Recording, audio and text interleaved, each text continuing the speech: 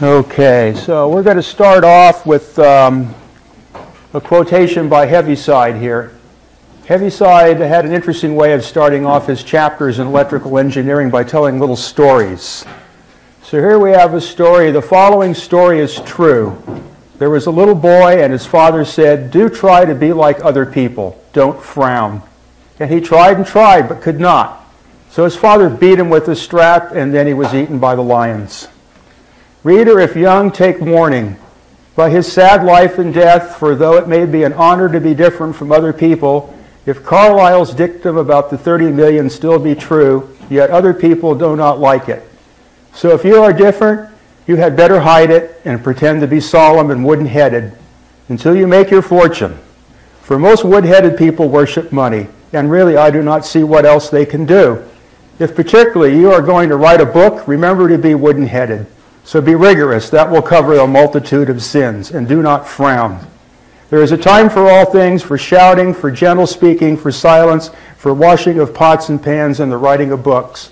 Now let the pots and pans go black, and let's set to work. It's hard to make a beginning, but now it must be done. So this is where we begin, with the advice of Oliver Heaviside. So we go right back to the origins of science, which bring us to two people, Plato and Aristotle. But first, let's go, let's go back to Steinmetz. This, go back to Steinmetz. This is the guy who basically we're talking about. He invented the mathematics that allowed a picture and engineerability of electricity that was beyond anything that any of the great mathematicians or scientists or anybody from that era could do. This is about 1900. And then in our next shot, this is the other subject of our talk, is electricity in its wild, pure form. You're looking at about a 100 foot long, 440,000 volt, 1,000 ampere electrical discharge that just doesn't want to go away but continues to grow. These are the things that the electrical power industry was almost brought to its knees on in trying to tap or prevent these type of situations from happening in the electrical system, and Steinmetz was the one that figured it out. Okay, the next shot. Okay, now Mr. Whittaker wrote a book called Theories of Ether and Electricity, or the historical representation of the theories in, of ether and electricity that covers all the scientific work in electricity. It's about a three volume set of about 1,500 pages. And if anybody wants to see where all of these ideas came from about the ether and about light and about relativity and quantum. This is the guy that cataloged the whole thing in a, a way that is, is just absolutely mind boggling, right down to the finest detail. You can go through all of Faraday's experiments and Maxwell's experiments and make your own decision from them because he doesn't make a decision for you. He just simply outlines the history. So you don't have to redo all the experiments of the past two or three hundred years. So go to the next shot.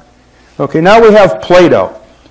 So our method of thinking comes from two people, Plato, and then we have following him, we have Aristotle. So Plato's thinking was, was to produce schemes more or less independent of existence on the basis of all being, and they were totalitarian in nature. Where Aristotle is the systematic experience of the surrounding universe, truth attained progressively through the work of individual efforts. Now, Oliver Heaviside breaks this down a little further in the concept of natural philosophy. All of these people, Heaviside, Maxwell, Thomson, everybody that we're going to be talking about consider themselves a natural philosopher. It's a mode of thinking that doesn't really exist anymore today. Now, Heaviside broke the natural philosophy down into two terms those of the vitalists, which dealt with the living world, and that of the materialists, which dealt with the non living world, which, of course, is us as electrical engineers. Now, we can find the basic beginnings of science out of Aristotle's thought, but it had to be modified by an English Franciscan friar by the name of Ockham in 1350. He broke tradition with medieval thinking around 1350 and can be called the father of modern science. His line of reasoning led to Copernicus, then Galileo and Kepler. The mode of thinking was now how instead of why. Descartes in the 1600s continued the line of reasoning and developed the first concept of the ether, which is the most important concept in dealing with electricity. Descartes regarded a metaphysics beyond the physical. He called it the last part to be studied as it is necessary to have previous knowledge of many things. The study of electricity, considering the electric phenomenon as non physical, is hereby, by Descartes' reasoning, a metaphysical and not a physical study. And this is the, the center of the whole problem. Is electricity is not a place for physicists. Okay, now Erasmus in 1509 gave a basic description of pre Descartes thinking, which basically is where we are back again today. He said, There are innumerable niceties concerning notions, relations, instants, and formalities, which no one can pry into unless they have eyes that can penetrate the thickest darkness, and there can see things that have no existence whatsoever. The very state that Erasmus complains of in 1509 has been reborn in the concepts of relativity and what I refer to as quantum mysticism. Tesla states the scientists from Franklin to Morse were clear thinkers and did not produce erroneous theories. Scientists today think deeply instead of clearly. One must be sane to think clearly, but one can think deeply and be quite insane. Today's scientists have substituted mathematics for experiments, and they wander through equation after equation and eventually build a structure which has no relation to reality. That's a pretty heavy statement for Tesla to make. Now, Edwin Armstrong, after being ripped off by RCA for his FM invention, really summed up the, con- the concept the best with the phrase they substitute words for reality and then talk about the words. Heaviside gives his idea on what science is, is really about in his era, and he, very complicated uh, statements. There is no self contained theory possible apart from practical meaning. For a language is used in its enunciation, which implies that developed ideas and complicated processes of thought are already in existence besides the general experience associated therewith. We define things in a phrase using words. These words hail to be explained by other words, and so on forever in a complicated maze. There is no bottom to anything. We're all antipodians and upside down. The misinterpretation of J.J. Thomson's discovery of the electron greatly hampered the understanding of electricity. And in 1900, Steinmetz summarizes the situation in one of his books. He says, Unfortunately, to a large extent, in dealing with the dielectric field, the prehistoric conception of the electrostatic charge on the conductor still exists, and thereby its use destroys the analogy between the two components of the electric field, the magnetic and the dielectric, and make the consideration of the dielectric field unnecessary complicated. In actuality, it eliminates the dielectric field and makes it so that you can't calculate it and substitutes electron flow in its place. Wires are not conductors of electricity. This misconception of so called conductors or wires carrying electricity like water in a pipe was continuously attacked by Heaviside in his writings. An entire article is written on the matter titled A Perfect Conductor is a Perfect Obstructor, but does not absorb the electromagnetic energy of the waves. Heaviside states it was discovered by mathematical reasoning that when an electric current is started in a wire, it begins entirely at its skin, in fact, upon the outside of the skin, and that, in consequence, sufficiently rapidly impressed fluctuations of the current keep to the skin of the wire and do not sensibly penetrate its interior. The concept of electron flow in wires rather than electrical field flow around the wires can be related to seeing the footprints of the invisible man in the snow. Heaviside says now, very few, if any, mathematical electricians, he's writing this in about 1890, very few, if any, mathematical electricians could understand this fact. Many of them neither understand it or believe it. Even many who do believe it so do not, do not because they are told so, I believe, simply because they can in the least feel positive about the truth of their own knowledge. An eminent practitioner remarked after prolonged skepticism if Sir Thomson says so, who can doubt it? What a world of worldly wisdom lies in that remark. That's Heaviside's quote. The relativists, with their concept of distorted measurement or curved space, replacing an ether, and their concept of the equivalency of matter and energy worked great harm into electrical sciences. A post Maxwellian theory of electromagnetism was to prevail, ignoring the works of Tesla and J.J. Thomson.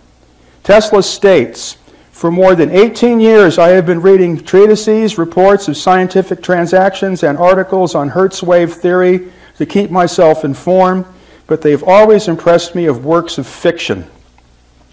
Energy matter equivalency, as propounded by the relativists, serves to distort the proper understanding of the continuity of energy as represented by Heaviside.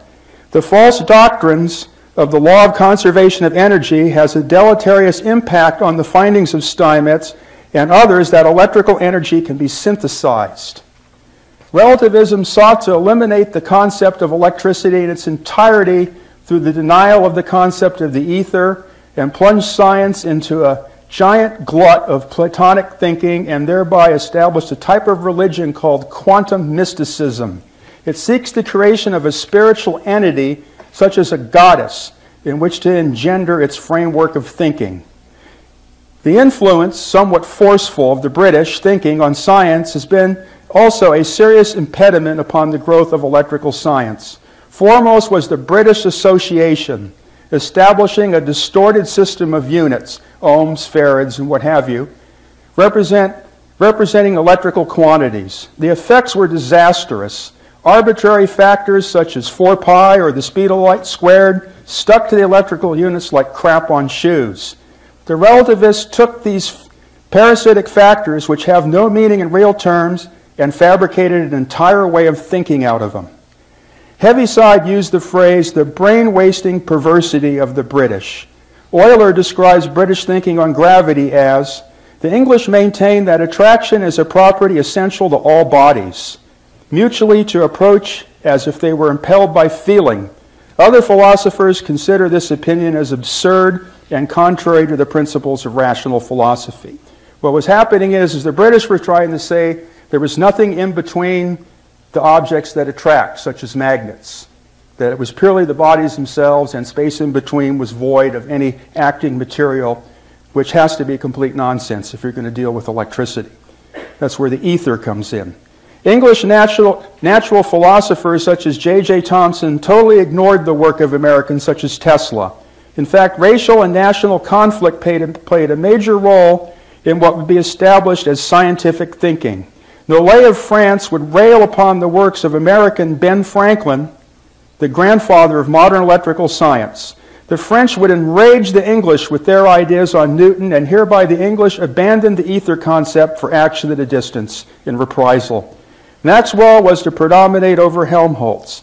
The important works of Goethe and Steiner, who came up with a completely complementary concept of electricity and matter and these things that the British, through Newton, were working on, were completely ignored by the British and Newtonian thinking, even though the works of Steiner are extremely important in understanding certain electrical relationships. Racial mysticism, such as Nazism or Zionism, has given the world today a twisted nuclear thermodynamic science, producing a divergent culture racing towards destruction. Steinmetz regarded the Maxwellian concept of the transformer of fantasy. In fact, modern physics' representation of transformer action is the diametric opposite of that of reality. In the manner of Heaviside, let us tell a story. The story is entitled An Explosion at the Shipyard. The USS Lucifer, in need of repairs, arrives at the shipyard. It is on an important mission to deliver nuclear bombs to Israeli military forces in Iran. Dock electrician a Mr. Young came across a bag of meth and has not been seen in days. Substation transformer feeding the dock is not completely connected, and the USS Lucifer needs its power now. Lieutenant Junior Grade Einstein and Master Chief Electrician's mate Heaviside look at the transformer and find the pairs of secondary windings not completely connected. The work only partly completed by Mr. Young. Master Chief Heaviside, still sick from last night's liberty, heads for sick bay. He sends Seaman Lopez, who was recently demoted for fighting with blacks in the engine room, to assist Mr. Einstein. Seaman Lopez fancies himself as a real hotshot and is eager to jump in to assist Lieutenant Junior Grade Einstein.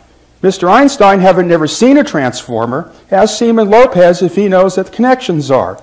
But Lopez replies he's never seen a split winding transformer before. Now, Mr. Einstein, an MIT graduate in physics, remembers his Maxwell equations, which tell him, in his mind, that the induced EMF on the driven windings X1 and X2 must be out of phase with the induced EMF in the unconnected winding X3 and X4. Thusly, Mr. Einstein tells Lopez to connect X1 to X4 and X2 to X3. Lopez balks, feeling this may not be correct. Remembering back to electrician mate school, Mr. Einstein orders Lopez to make the connections or he'll be court-martialed for his fighting in the engine room.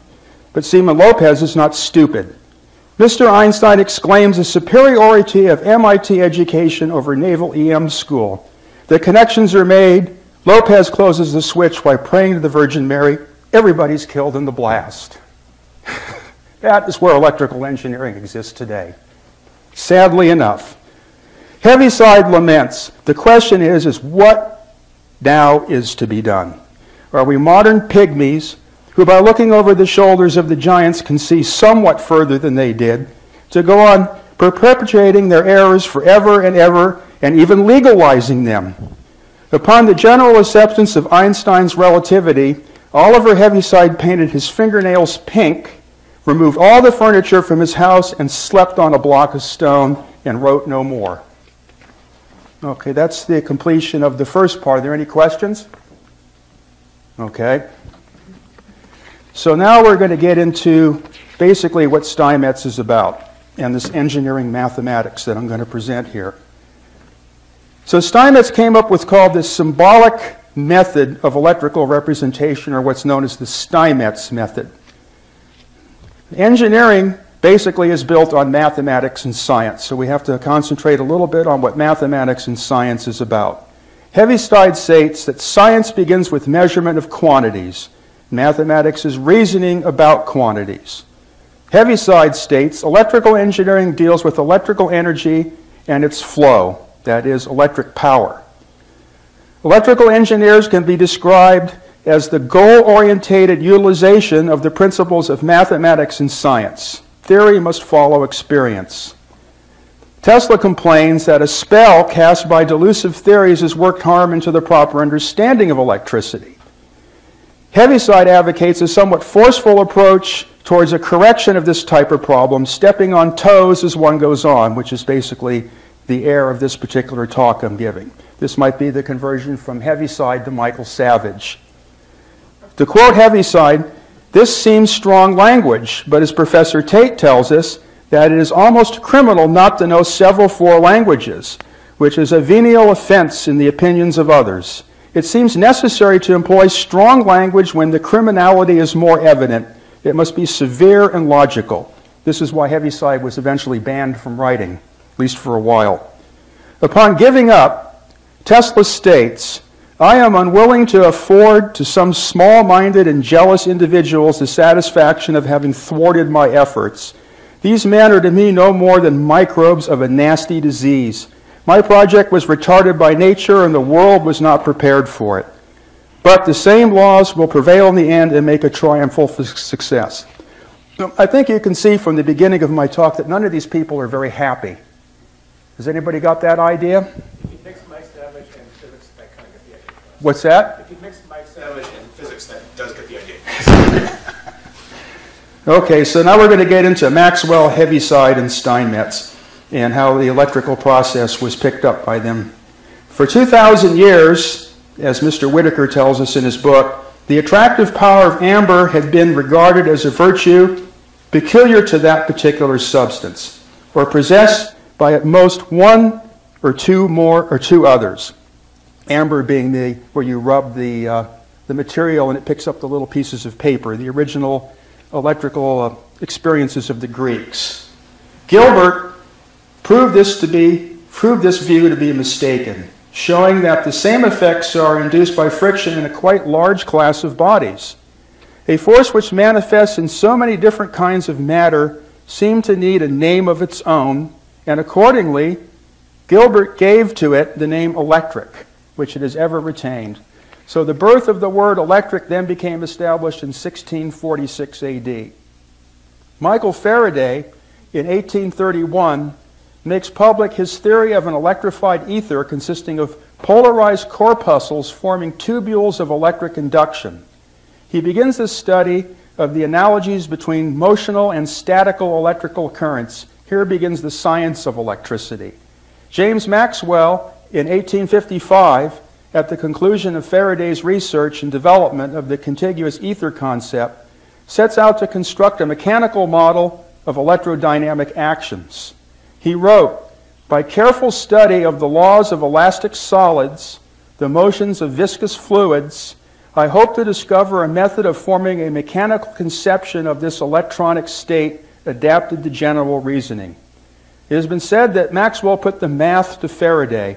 The impact that Maxwell's ideas had on the emerging electric science was truly profound. Utilizing the recently developed ideas of Newton, Leibniz, and Hamilton, Maxwell produced a mathematical concept of electricity, one that stands to this day. Oliver Heaviside in 1895 begins to publish a series of articles titled On Electromagnetic Induction and Its Propagation. Here, Heaviside develops what he calls electromagnetic theory from the Faraday Maxwell point of view. By 1888, Heaviside was banned from publishing through the efforts of a Mr. Preece of the British Post Office Telegraphy Administration. Heaviside was called a disgrace to the Royal Society. However, Oliver Heaviside established electrical engineering as we know it today. Heaviside finds that the Maxwellian ideas are so cumbersome and overly mathematical. A develop, mathematician himself, Heaviside begins development beyond the concepts of Maxwell. Heaviside states, What is Maxwell's theory? Or what should we agree to understand by Maxwell's theory? The first approximation to the matter is to say there is Maxwell's book as he wrote it. There is his text, and there are his equations. Together they make his theory. But when we come to examine it closely, we find that this answer is unsatisfactory. To begin with, it is sufficient to refer to papers by physicists written, say, during the 12 years following the first publication of Maxwell's treatise to see there may be much difference between the opinions of them as to what the theory is.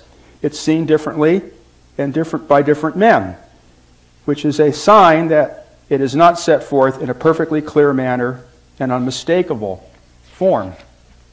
There are so many obscurities and some inconsistencies. Speaking for myself, this is Heaviside speaking, it was only by changing its form of presentation that I was able to see it clearly, and so as to avoid the inconsistencies. Now, there is no finality in growing science. It is therefore impossible to adhere strictly to Maxwell's theory as he gave it to the world, if only on account of it being inconvenient in form. But it is clearly not admissible to make arbitrary changes in it and still call it his. He might have repudiated them utterly, but if we have good reason to believe that the theory, as stated in his treatise, does require modification to make itself consistent, and to believe that he would have admitted the necessity of the change when pointed out to him, then I think the resulting modified theory may well be called Maxwell's. This is where Heaviside began his 1500 page book called Electromagnetic Theory, which is basically the icon of electrical theory and science. Everything today basically rests on it. Heaviside published his two volume work called Electromagnetic Theory. It went to three volumes in 1892. Here he developed his reconfiguration and extension of the Faraday Maxwell concept of electricity. Most terms used by electrical engineers, such as impedance, find their origin in these volumes. Oliver Heaviside developed a complete and verified theory of propagation of electric waves on telephone and telegraph lines. The brilliance right out of abject ignorance met with harsh opposition. But when AT&T developed the first long-distance lines on Heaviside's theory, the voices of the opposition were silent and their noses went high. By the Maxwellian concepts of Oliver Heaviside found institution in the telephone and telegraph industries, there were certain difficulties in the application of these concepts to the electric power transmission systems particularly with regard to waves and transformers. By 1900, Charles Proteus Steinmetz had presented his theory of versus operators, versor operators to replace the cumbersome differential equations utilized by the followers of Maxwell. Steinmetz was severely criticized, notably by Michael Pupin, who had glommed on to Heaviside's principles for AT&T, never mentioning Oliver, of course. However, Steinmetz's method was now a resounding hit amongst electrical engineers who now could forge ahead with Tesla's new system of alternate currents. This mathematical methodology thus allowed the extension of Tesla's AC technology throughout the world. Steinmetz quickly became an ultra icon of the United States of America. Heaviside begun development of a similar line of thinking 30 years earlier with what he called his impedance operator. This concept, while replacing differential equations, was still too cumbersome for electrical engineers. In addition, it was Maxwellian. The Steinmetz method, being specialized for continuously alternating waves, was of such simplicity that one may get the feeling of cheating or such. In the corporate world that Steinmetz worked his concepts of versor algebra in, as it is called, let's see, I think I skipped something here. Never could he could never advance it as far as he might take it. The companies were not interested in math, they were interested in machines. While attending a paper presented by Michael Pupin on the Tesla induction motor, Steinmetz remarked that the differential equations made it too mathematical for practicing engineers. He quickly sketched on the blackboard his complex number theory, which was simpler mathematically and also accounted for the losses. Not possible in Maxwellian terminology. Upon finishing, Steinmetz was criticized for not using Maxwell coefficients by Pupin. Steinmetz disliked the Maxwell approach because the coefficients of mutual inductance were expressed in a combined form as one magnetic field, where in actuality, in transformers, they exist in two fields, in what Steinmetz calls the mutual flux and the leakage flux. This conception is of utmost importance and serves as one of the main themes of this paper. So Steinmetz was given credit for being allowed by his employer to create electricity from the square root of minus one. And this is where we enter the basic theory of the talk. Is it possible to synthesize electrical energy? So, a Vladimir Karapetoff, professor of electrical engineering at Cornell University, expressed that Steinmetz was allowed by his employer to create electricity from the square root of minus one at the eulogy of his death in 1923. This appeared in the Cornell Daily Sun on the 29th of October 1923. Before the Steinmetz method, engineers had used differential equations or graphics to calculate alternating current problems. With all the mathematical baggage aside, engineers could see the alternating electric wave with crystal clarity. In this view, a few engineers knew that electrical energy can be synthesized, literally created along certain lines of math of mathematical reasoning. At a lecture of the American Institute of Electrical Engineers, in which Steinmetz, Tesla, and others threw their ideas back and forth about these, Professor William Anthony stated at the closing of the meeting that within one year they were going to have a self sustaining electrical system that didn't need any fuel. This was in the 1890s. Where is it today? Steinmetz began study of what's called synchronous parameter variation. The meaning of this is the variation of energy storage coefficients, such as inductance or capacitance or resistance, with respect to a point in time on the AC cycle, is the cause of what Steinmetz says, the lack is caused by what Steinmetz says, the lack of uniformity and pulsation of the magnetic field, causing a distortion of the induced EMF at open circuit as well as under load. The pulsation of reactance causing higher harmonics under load. He's speaking about generators and motors now. The pulsation of resistance causing the same harmonics. That was the big flame you saw at the beginning leaping off the, the uh, disconnect switch. Now, normally, now the normally constant or time invariant coefficients change in value with respect to time. Now we have a peculiar set of dimensions of henries per seconds, ohms per seconds, farads per seconds and Siemens per seconds. And this is where the concept of the law of conservation of, engineer, of uh, energy comes apart. Because the energy is appearing and disappearing in these relationships without any equality or connection anymore. Energy could either vanish or energy could appear in the system. Steinmetz states in Article 241 of his Theory and Calculation of Alternating Current Phenomena, published in New York in 1900, the following.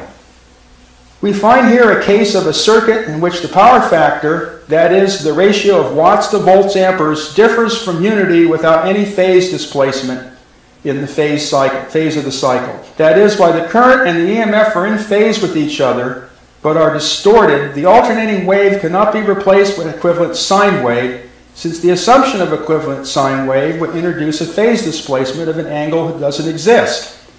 This condition made itself apparent in the line switching equipment of the primordial electrical industry. Let's see if we have some. Now this is a, is a prime example of what happens. Okay, we're trying to turn off a 220,000 volt power line, and this is the switch. It stands about 50 feet high.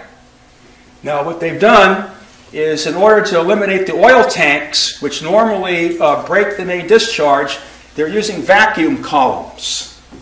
And what it is, is the mechanism breaks the circuit inside the vacuum columns. But being that there's no uh, gas or oil or anything to carry the current through to the zero part of the cycle, the voltage tends to, yeah, That's your laser. yeah, the voltage tends to raise to infinity, trying to maintain the power flow. This is where the switches start to explode as they're opening here. Now, normally, these cells here break the electrical circuit in the vacuum so there can be no arc, but that's kind of the last thing you want to do because the momentum of the electricity will come thundering back down the line to try to keep it going. And what I just read from Steinmetz is in the actual arcs where the switch contacts are breaking open, is you start to get energy anomalies in these arcs. And the system goes into a cumulative oscillation and continues to accumulate energy until something blasts. So as we go through the opening of the switch, you can see where now the fire has jumped across and there's no way to stop the flow and it's just accumulating. I think we've got one more shot before it explodes. There we go. Now it's getting ready for the final blast. And then the final shot, the whole, well, that's another switch. Okay. That's the final shot where it shorts out the power line. The intensity of the light's so great that the camera can't really, it shorted out the camera. So you can't really see the, uh, you can't see it at this point very clearly. It's, it fuzzed it out. But that's a lot of power there. You're talking about the, the electrical discharge there is probably equivalent to maybe 20 locomotives running full bore, hauling trains over the Tehachapi Pass. But I'm sorry, I just want to get this right, because it's interesting.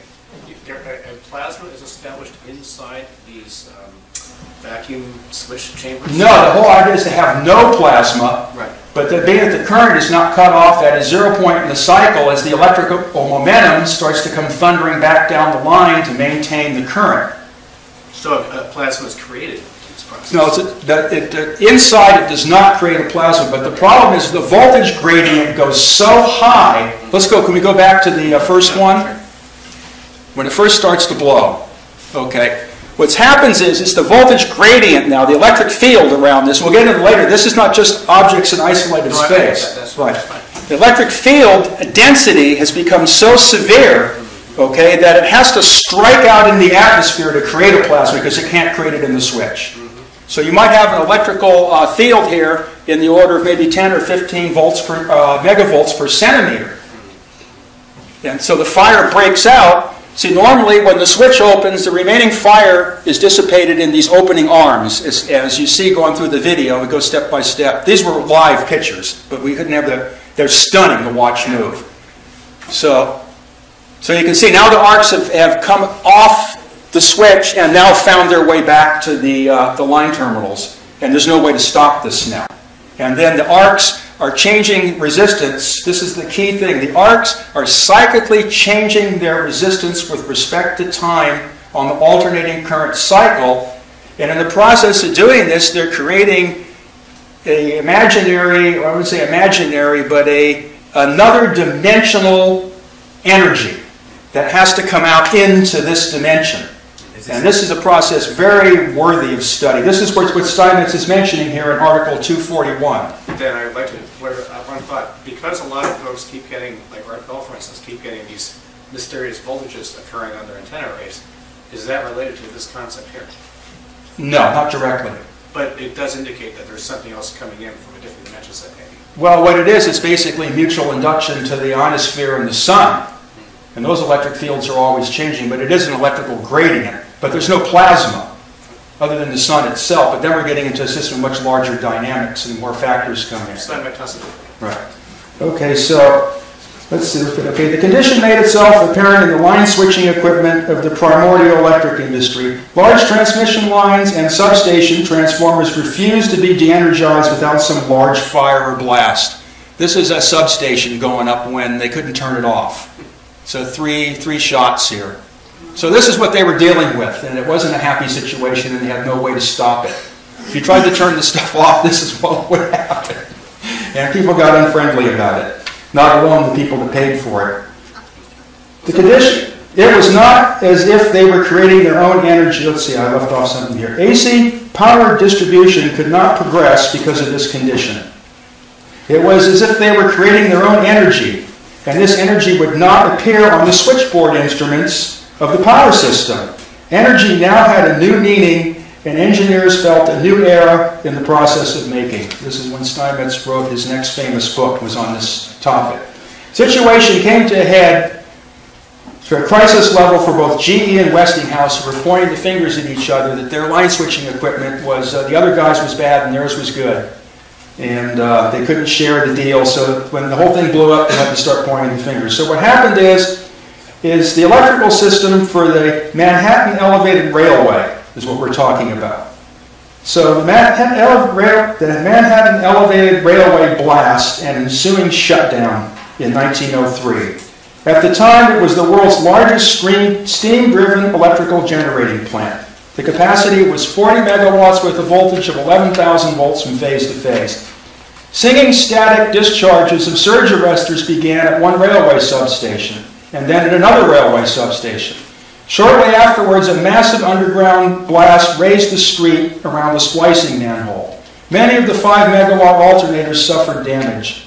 Upon analysis by Steinmetz, it was that a progressive or cumulative oscillation had developed, evading station voltmeters. This oscillation cohered at 270 cycles a second in the entire electrical system with a wave crest of 120,000 volts. That's a lot of buildup over 11,000 volts. And the final fault current was a fault current of 9,000 amperes. So we're talking about a pretty good bang. That's why the whole street lifted up two or three feet. Out of this work, Steinmetz developed the synchronous condenser, a type of dynamotor that one may be tempted to call a free energy device. This machine is utilized by the utility companies to provide part of the power to their transmission system that would otherwise have to be produced at the distant generating facility and thereby cause a waste of power in its transmission. So basically, the electrical power industry is in a certain sense already using so-called free energy concepts because it's inherent in the distribution system itself when it gets to a certain size. And they're using the synchronous condenser, which is a, a very large synchronous motor that's immersed in hydrogen gas. The reason it's immersed in hydrogen gas is to cut the windage down, and hydrogen is a, a heavy absorber of heat. So they can keep the machines cool and they can keep the windage losses down. The motor only connects to itself electrically. And through this synchronous parameter variation, what this motor does is become a generator by working its own phases inside and supplies all the magnetizing power for the system necessary to keep the transformers and transmission lines magnetized. And between the synchronous condenser and the substation at the distance end, through my experiments, I've determined that energy is actually synthesized in the space between the wires in the magnetic field. Now, I did an experiment with this when I was at the Richmond shipyard.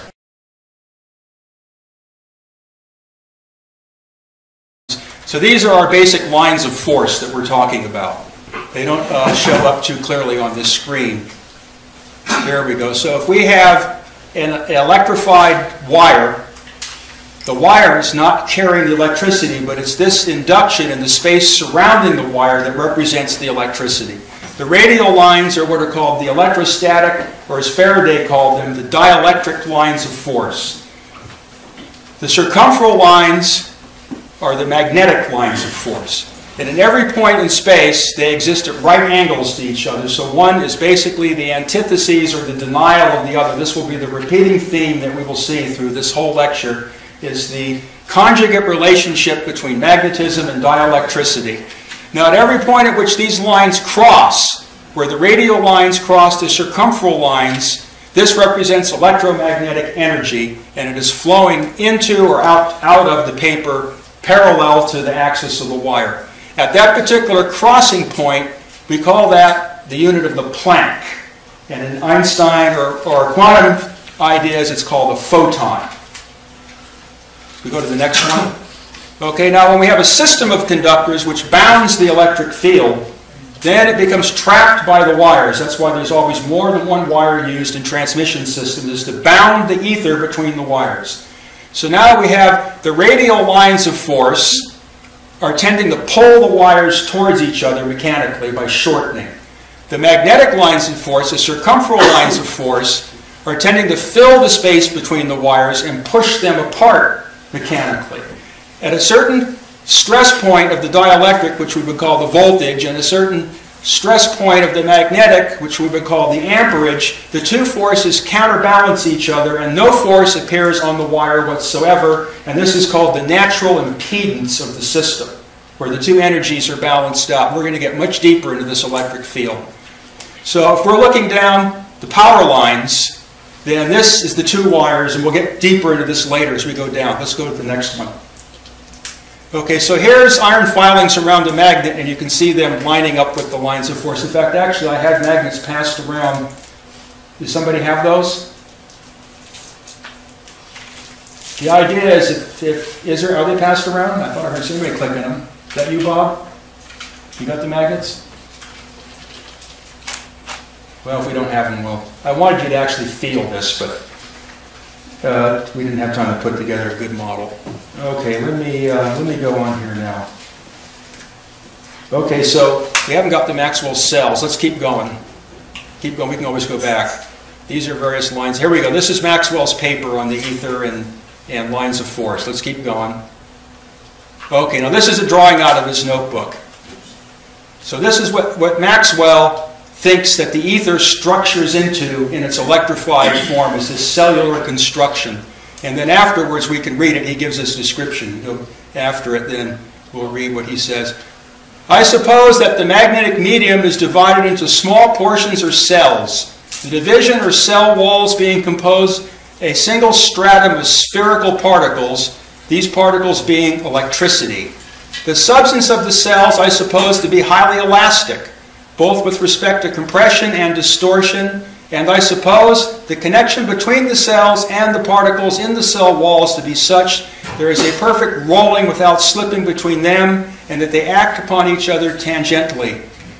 It then, I then find that if the cells are set in rotation, the medium exerts a stress equivalent to a hydrostatic pressure combined with a longitudinal tension along the line's axis of rotation.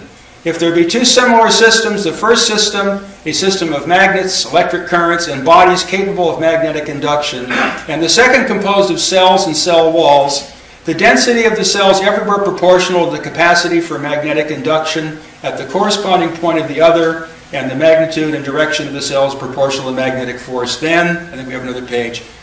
So he makes his propositions here. We won't, we won't go through all this because it's a little more complicated. So let's go back to um, let me do some more reading here and go back to the first uh, flux diagrams. Okay, further back. Don't be afraid to use your laser pointer. Okay. Yeah, let me, um, that might be helpful. Okay, so here we have the crossing points. Okay, that's the electromagnetism. Then we have the circumferential lines of force, which is the magnetism, which is rotary in character, and is basically dimensionally considered velocity. Now we have the dielectric lines of force, which are everywhere at right angles by definition, being the, the antitheses of the magnetic. So basically, one becomes the gradient lines for the other. One defines the other in a conjugate or mirror sense. Now these lines of force move along in this direction. Now the magnetic lines of force must surround in closed loops the electrical or electrified objects. They can never end in space. In other words, this is just because it's gone off the paper. The dielectric lines of force must always terminate into what we will call counter space, or what J.J. Thomson called intermolecular dimensions. So, by more conventional theory, we can say that this line of force is stuck to an electron on this wire, And this line of force is stuck to a proton in that wire. That would be your more physiochemical representation, but no one really knows what's going on inside these wires. And the electricity all moves this way down the paper at the speed of light. The ratio of these two quantities must always equal the speed of light. This was Maxwell's fantastic discovery that not only is the speed of light a velocity, but is also the constant ratio between the amount of electrostatic or dielectric and magnetic energies in the system. And the impedance of this type of configuration always tends to be, again, a numerical value based on the geometry. But the speed of light has this duality, and this is where the confusions of Einstein and relativity and everybody emerged from, was this duality of the electric field as discovered by Maxwell. So I'm going to read some more Maxwell. We've gone through his cells. Okay, J.J. Thomson, as well as Heaviside, altered the Faraday-Maxwell concept such that now a electrostatic field constituted the tubes of force, and that a magnetic field was a secondary effect, or what Faraday referred to as the dielectric field. J.J. Thomson used the term Faraday tube to describe a unit line of electric force. Let's go to J.J. Thomson's diagrams. Okay, here, the back back. He's showing the attractive force exerted by dielectric lines of force between two bodies. Now, Thomson felt, unlike uh, Faraday, Faraday felt that the lines were uh, magnetic, but Heaviside and Thomson felt that the dielectric were the primary and the magnetism was just that circling around the dielectric. You know, it's kind of like a chicken or egg consideration that's never really been fully dissolved, resolved because the ether has no tangible physical dimensions. Okay, now what's happening is these lines of force tend to be contractive pull the plus and minus together. And this basically is a representation of the process of attraction. Now we go to the next one, we have the process of repulsion. So in the process of repulsion, we don't have lines of force pushing the two objects apart. What it is, is the lines of force now have to terminate on more remote surfaces of molecular dimensions. And what it does is it pulls them away rather than pushes them away. So the repulsive process is not really a pushing apart, it's a pulling apart. And there's a void here in the middle of the absence of electrification rather than a concentration of it. Okay, now Euler's ether, and one which was prescribed to by Tesla to compensate for uh, or to give an idea of gravity, that's further down the line here. We'll just cover that one briefly because it's specialized. Okay, now both Euler and Tesla felt that there was a type of gas where the mean free path of the particles was so intense because of their extremely high velocity that they would never hit each other in any uh, fathomable distance through space. In other words, they could go for light years through space without hitting each other. It's a peculiar type of gas. Uh, Tesla confirmed the existence of these particles, which he called his cosmic rays, which are not really connected to the cosmic rays as they're told today. He had discovered a primary type of cosmic ray, which he said moved at 50 times the velocity of light. Now, what these guys all thought is that what gravity is, because it's not just simply two things attracting, something has to make them pull together. And we saw by the lines of force that what appears to be pushing apart is really pulling apart. If we look at it this way, is if these randomly moving uh, ultra gas particles strike an object, many of them will go right through. But these, these rays can be detected in the deepest mines of the world without uh, uh, suffering any attenuation. They can go right through the planet, but a certain amount of them will hit something. Now, what happens is that creates a dead zone. So now you no longer have a uniform pressure of impacts around the object because the mean free path is so extreme that what it does is now this a void zone, you have more lines pushing here and more lines pushing here than you do here or here. And this is what causes objects in space to move towards each other, is they're actually pushed externally. It really is the most sensible view of how gravity operates. But it leads to some conclusions that uh, are very unpopular. Because by this type of theory, all of the planets and the sun have to be hollow. And people don't like to talk about that. So Tesla also regards the ether as a gas and succeeds to produce these ultrafine high-speed particles in his vacuum tubes. Now I've duplicated this in experiment. He claims velocities 50 times that of light. Tesla's tubes gave the ether the properties of mechanical force against ponderable matter. I'll describe an experiment I did where I took these special Tesla type of currents that we'll get into later, why they're different, and energized light bulbs with them. Well, the light bulbs don't light up like normal on this because this is not normal electricity. So this kind of uh, solar system or galaxy starts to appear inside the bulb with little suns and comets and stars and, and gradually becomes cumulative like these power line oscillations. And what happens in this process is that actually, even though that the bulb has a vacuum or partial vacuum in it, is the glass when heated starts to push out. Something is pushing the glass out. So what has been done is the ether now has been solidified into something that can exhibit physical force against matter. Now when, has you got a screw up there? I'll wait till the screw up's over. I'm sorry, what? Oh, the one with the lights blinking and you guys are talking, so. Next slide? Did something, no, I just thought you had a problem. Yeah, just with the videotape. Okay. We're still rolling over here. Okay, so, so what happens is, is, is this entity inside the bulb produces so much impact and heat on the glass that when it melts, it'll melt a hole in the ball. Now, you would think when a hole is melted in the ball that the air would rush in and wreck the partial vacuum and the bulb would cease to work. Well, it's the exact opposite. What happens is, is this purple ether comes shooting out of the hole like a little air compressed jet and hisses, and the vacuum in the bulb becomes stronger. So this completely turns the concepts of what's inside empty light bulbs inside out. Steinmetz regarded the existence of the ether as a reality, but changed horses when the, the concept of the ether was eliminated by the Einstein concept of distorted measurement of what is called relativity.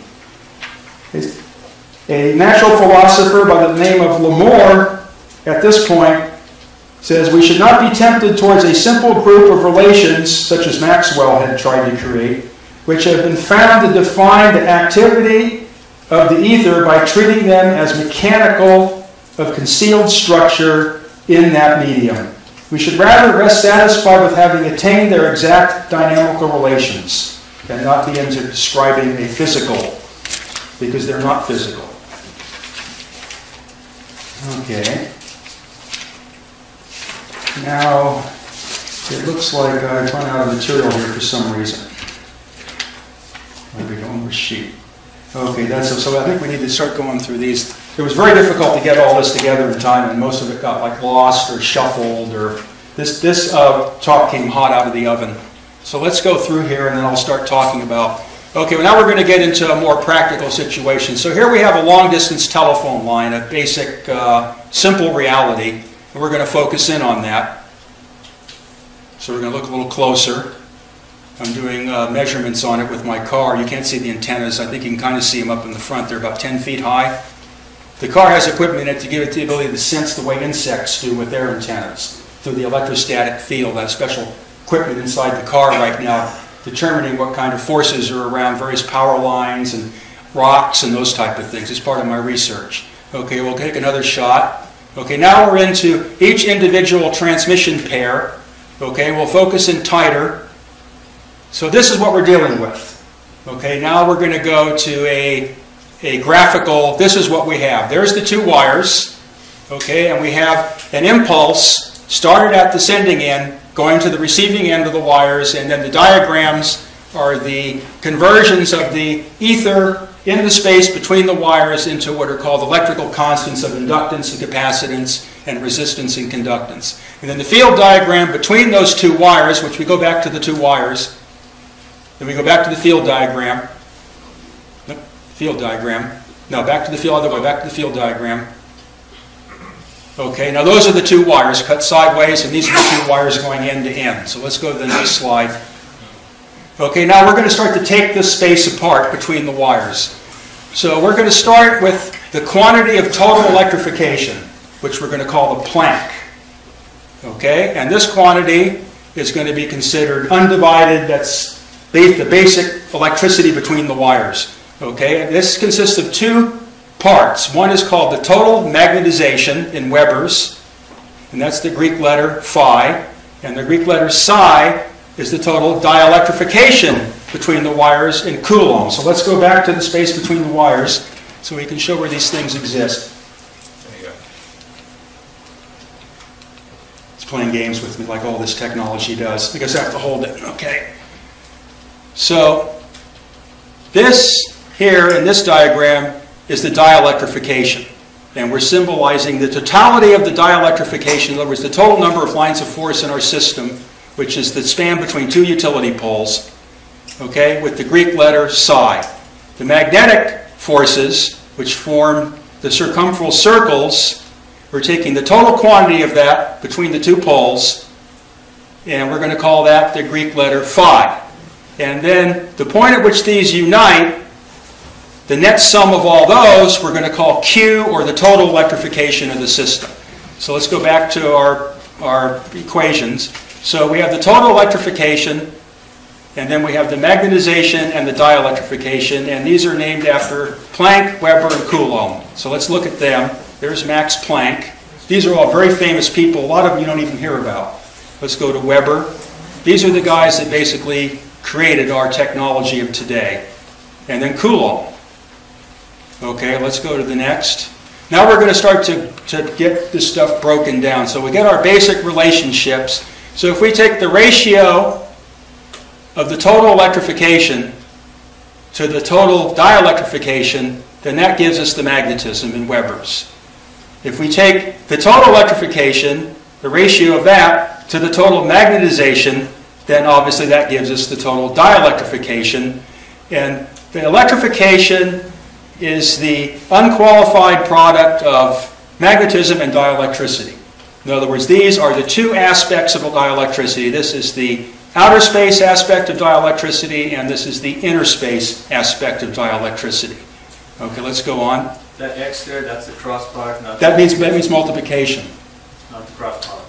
but not, not quite generalized, not, not, not qualified multiplication. It can be any type of product.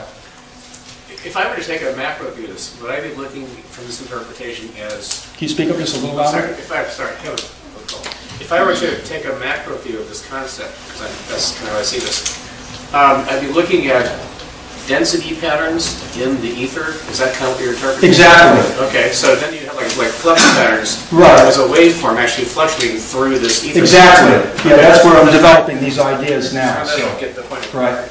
Okay, now normally, somebody mentioned, centimeters to the- somebody mentioned cross products, so let's go back. Let's go back to the, Excuse me, what- centimeters to the fourth there, I just want to make sure I understand that. uh, Go back to where you were a second ago. uh, we have, but we're not, we're not using that yet. Bottom on the right. I know, but we haven't got there yet. Let's keep going back. We have to, we have to retrace our steps, because somebody's, people have asking questions, now I have to define. Okay? Go back to the diagram. All the way back to the diagram. Okay. Now, this is in a, what's called an electromagnetic configuration, but not, as we'll see later, not all configurations are electromagnetic. Now, in this case, this is the cross product. But as we'll find later, the multiplication is more general than that. That's basically the, crux, the whole crux of this talk, is to come up with the non-electromagnetic, or what we would call the Tesla component. So let's keep going then. Okay, now, okay, so this is basically, we're basically just saying here that magnetism and dielectricity are the two components of electricity. Steinmetz eliminated the use of the word electric field because it's not correct. He called it the dielectric field in Faraday's terminology. Everybody has agreed upon the magnetic. In Steinmetz's electrical theory, electricity has to be the product of these two quantities. If it is not, if it's just one or the other, it's not electricity. So a charged capacitor is not electricity. Okay, a trapped uh, magnetic field in a motor winding is not electricity. It's only when these two things cooperate interdimensionally with a relationship where the energy of one is exchanged into the energy of the other through a cyclic process do we have the appearance of electricity. Okay, let's go on. Okay, so now when we start to deal with this stuff in space, we start to get into some uh, complexities, and that's what I'm trying to present here. So we, if we take the magnetic, the total magnetic densities Okay, and on a per area basis, in other words, we have lines per square centimeter. We call this, let's call this the density of magnetic induction, which would be in Webers per centimeter squared, in other words, square centimeters. Okay, obviously we can do the same thing for the dielectric condition. So if we have a cube sitting in there, in between the wires, there's going to be a certain number of lines of force going through this one square centimeter clear plastic cube that the wire uh, that the, the waves just go right through. The wires are just the boundary. The electricity is flowing in this dielectric between the wires. This was Maxwell's profound discovery that electricity does not flow in conductors. In fact, actually, in the days of Franklin, metals were called non-electrics because they destroyed the electric field. The complete opposite conception of what's been put in our minds today. Okay, we have an interesting situation. Now, if we try to take this back to the electrification, we have area squared, and this is going to pop up again and again, is now we have the dimensions of space to the fourth power, which a physicist would be uh, tempted to call four-dimensional space, but we're going to modify that concept because that leads errors into the, uh, the uh, mind state. So we're going to work around that, and I'll get into that a little later. So basically, these are just our basic uh, tenets of, of what's to follow. What I'm trying to do is so that everybody knows what these terms that we bandy about are, like volts, amps, ohms, watts, coulombs. Everybody uses these words in electricity, but nobody really knows what their definition is. I could ask everybody in this room what a volt is, and I would get a different answer, and chances are almost everyone would be wrong. But we're going to learn what a volt is. So let's move on. Okay, so if we take the quantity of electrification and we vary that with respect to time, in other words, it gets stronger or weaker or moves somehow so that in time its quantity changes, we call that work or energy in joules. So in other words, energy does not have a primary existence in this electrical theory. Energy is actually a derivative. So we have all of our derivatives of electric fields here. So if we have the magnetism, the total magnetization, and we vary that with respect to time by strengthening or weakening the magnetic field, that gives us E, electromotive force in volts. So that when someone asks you what a volt is, a volt is the rate at which magnetism is produced or consumed in an electrical system. That is the definition of a volt. Okay, now if we take the total quantity of dielectrification, okay, and vary that with respect to time, in other words, we either produce or consume a dielectric field, and it changes with respect to time, we call that I, and that's called the magnetomotive force in amperes. Okay, now if we take the quantity of electricity and vary it to the time squared, or if we take the product of these two, which gives us this. In other words, this times this gives us this. We call that power P, or act activity. P is the power activity in watts. So then we'll look at the people whose names we're using. So there's Joule, Volta, Ampere, and Watt. These were the people that conceived these ideas that we're talking about now. Okay, we'll go on to the next. Uh, okay, now what we're going to do is we're going to get into the proportionality of the, of the situation. So if we have a magnetic field and we have a current which is associated with it, we take the proportionality between the two, that gives us L, or what we call the magnetic inductance. And that's given in henries. So the inductance of an electrical system is the magnetism compared to how much current is required to produce it. So if I can produce 100 units of magnetism for one unit of current compared to one unit of magnetism for one unit of current, the 100 units of magnetism for one unit of current would have 100 times the inductance of the other situation. So it's a basic proportionality. Now the same thing exists with the dielectric field.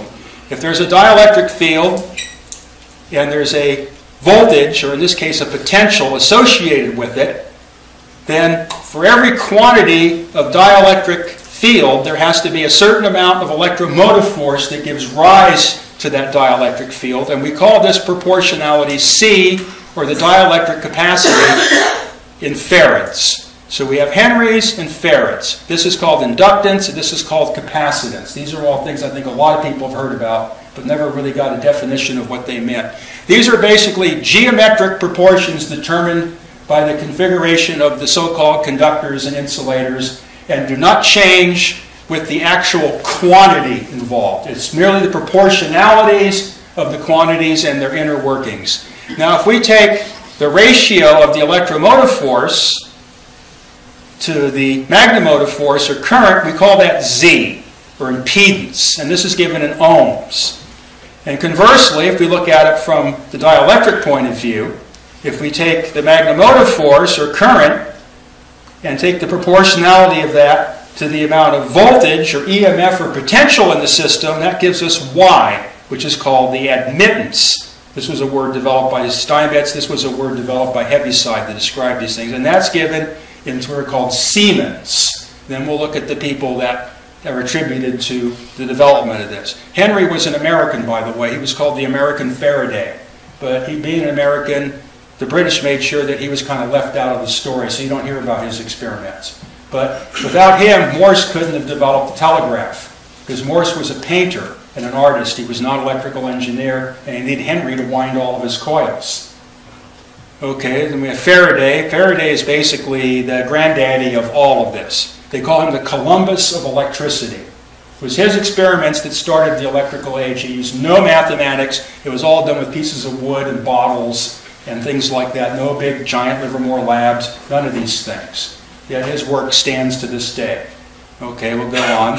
Then Ohm, he was the one that found the proportions between these constants that we saw earlier, like the, the amount of electricity to the amount of magnetism or the amount of volts to amps. They didn't have a lot of these words back then. Made it hard for them to work on. There was no volt or amp or ohm.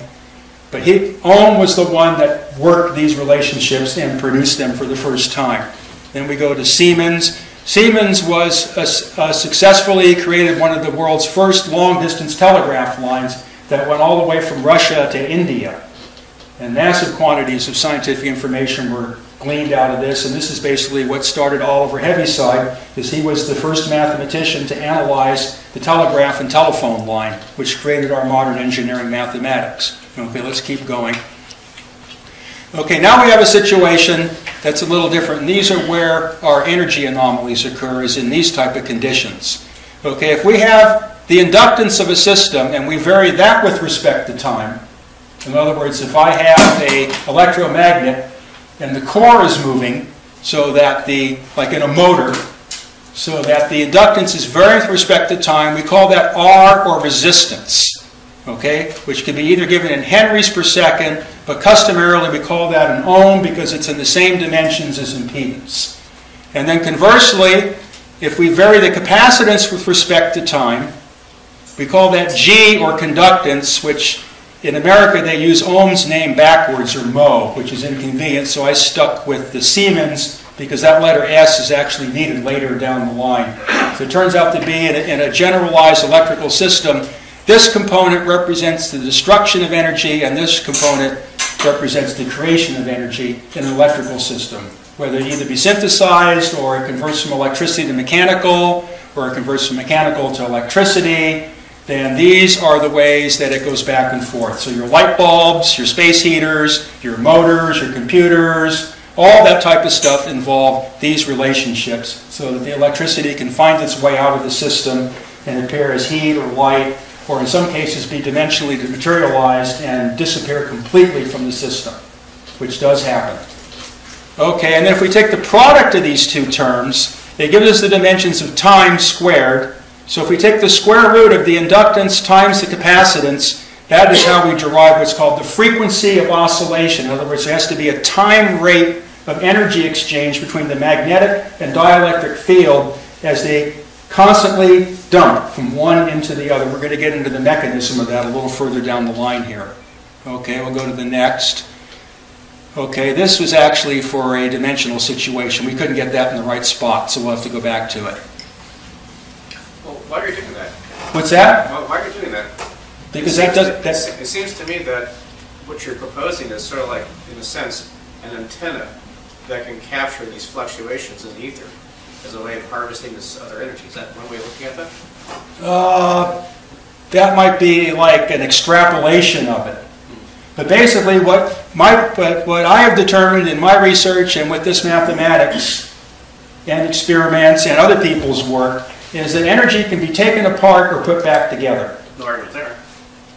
So if you have this potential for somehow capturing these fluctuation or density patterns in the ether, that in itself might be instigating what looks like apparent electricity. Right, well, if you take a situation, okay, we're standing right now in what appears to be uh, motionless space, right? Nothing's moving except for our basic, uh, you know, milling about. But the thing is, is the Earth revolves on its axis. So we're moving in a certain direction at 1,000 miles per hour. But then the Earth goes around the Sun. Okay? So if the Earth is going around the Sun, now we're up to about 60,000 miles an hour. That's how fast we're moving through space right now. Now, if we take how fast is the Sun moving through the galaxies, okay, these numbers just keep on building up. Now, let's say we view this as a railroad train. Okay, now if I'm on this railroad train going 250,000 miles per hour, okay, and I take this thing and I throw it off the train, what's it going to do? It's going to make a big blast, right, when it hits the ground? If this thing is moving at 250,000 miles through space and it stops against the wall, there's no gun that shoots that fast. That is how much energy we have right now in our bodies flying through space. But when Einstein talked about frame drag, he actually talked about the elasticity of time-space continuum being manipulated or stretched by a revolving body or by other forms of mass. So in a way, in a way, you're kind of poking at that idea a little bit. Well, I'm coming about it from a way where it's, it's actually on physical dimensions and not with the metrical dimensions. I'm going to get into that later. That's what those other diagrams, let's, actually, let's go back to those diagrams. Okay, I was going to do a little coverage on dimensions here, because this is part of where the mind virus appears, and it really has to be corrected. So let me, um, let me try to read from this. The computer hated this whole talk and just fought it the whole way. So I. I I have determined, so I don't normally use that technology because it's repulsive to me. But I have determined what is the, the creators of this technology are doing, are introducing what we call NEMS, nemesis, into the systems, okay? And, the- and when I look at it, the people that create this technology are a bunch of geeks. And what it is, is they're creating their geekdom in the machine, and the geekdom feeds on your tension or what you're doing that doesn't fit into what these people like to hear. A friend of mine referred to it as a Trojan horse. I won't say any more about it because that's exactly what it is. So everything you pretty much see here, uh, I, I have been involved in this about 20 years, but just about all this I put together on park benches as a homeless person here in San Francisco for 10 years. I didn't need any computers. It's quicker not to use the computer. You use paste, use paper and scissors and a photocopy machine. So, okay. So let's go back to this. Okay, so we're going to start, we're going to deal with the concept of dimensions because this is something that needs to be cleared up before we go back to the ether. Okay, the definition of dimension. One of a group of properties whose number is necessary and sufficient to determine uniquely each element of a system of entities. That's kind of a choke of a definition. Now, the misuse of the word dimensions is where it's not the case. We're not using dimensions in this term. Okay? Dimensions are not to be defined or expressed as a directional measurement or a number of coordinates, such as a three-dimensional space. There's only one dimension to space. Hereby, space is a solitary dimension, that there exists only the dimension of space, space. Expressions like four-dimensional space-time or two-dimensional space have no meaning. Space-time, then, is simply the relation of two distinct dimensions, the single dimension of space and the single dimension of time. As an example, velocity is expressed as the ratio of the dimension of space to the dimension of time. That is, how many miles of space for over how many hours of time, miles per hour. Thus, velocity is expressed as a two-dimensional relationship. Okay, now if we take the dimensions of time, okay, we have two expressions of time in electricity. We're not, electricity, we're not confined to our normal uh, so-called rational ideas of what space or time is. Space or time are basically measurement processes. They're not physical processes. So time can either move in a forward direction or it can move in a backwards direction. And the, in an electrical system, any generalized electric wave consists of a superposition of a wave going forwards in time and a wave going backwards in time. And the point in time which they cross is the crest of the wave. Okay? In the dimension of time, we move in an additive or a subtractive manner. In other words, our operator is plus 1 or minus 1, and time is multiplied by this operator. So time is either plus or minus. Space is entirely different, and this is where the problems start to appear in electrical research. Okay? Space, in this case the letter L for length, is now the operator exists in the exponent. So we have outer space or we have inner space. So it's plus and minus in either it's in an outside space like the space of real estate and acres, or it could be an inner space such as in between the molecules and electrons inside a transistor. So inside the transistor we have a condition of inner space, or what Rudolf Steiner called counter space. That's the term that I use for this. It's called counter space. There's space and counter space. But in order to make it uh, truly a duality, we call one outer space, which would be the space outside the wires, and then we have the inner space, which would be the space inside the wires, and we have the exact same condition in the ether. Okay, and if I take space, I can take space such as I can represent that blackboard by a certain number of square centimeters, and that is in the dimensions of outer or space. But if I take a ruler and I look at the space in between the lines, I call that inner space or counter space. So space is measured in centimeters. In this case, in other words, it's uh, to the positive exponent. But counter space is measured in per centimeters. In other words, to the negative exponent. So this is a very important consideration. Now there's, we go to the next one. There's two systems of logarithms that are in general use. The upper system of logarithms, which gives us our normal uh, trigonometric functions of sines and cosines, and also can give us our hyperbolic sines and hyperbolic cosines. And it's based on a Newtonian uh, mathematical operation where you go through this process, and that is the way you express your so-called trigonometric relationships. It makes the equations work. In other words, I can have 2 pi radians, and that tells me that that's one circle, but it has to be in this basic mathematical form. But there's another one that's called the golden ratio. Now, what's interesting about the golden ratio, that is this particular expression. Now, in the golden ratio, we find that if we have the golden ratio, which would say the, the letter A, just to represent that specific ratio as, as a quantity A, if I subtract it from 1, I get the same answer as if I take that A and I raise it to the negative 1 power. So if we go back, the golden ratio, ultimately, this is one of my projects I'm working on now that I have no more equipment, I only can get involved in mathematics, is to come up with a system of logarithms that utilizes the golden ratio to attempt to bring these two dimensional representations together.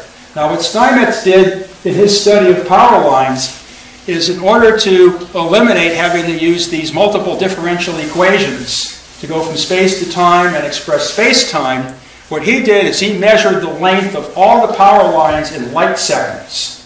And by making his measurements in light seconds, instead of meters or centimeters or cycles per second or these things, what happened is, is then all of a sudden these two dimensional relationships unified and Steinmetz was able to, to calculate and visualize and explain electric waves traveling in these phone lines and power lines that no one even knew existed.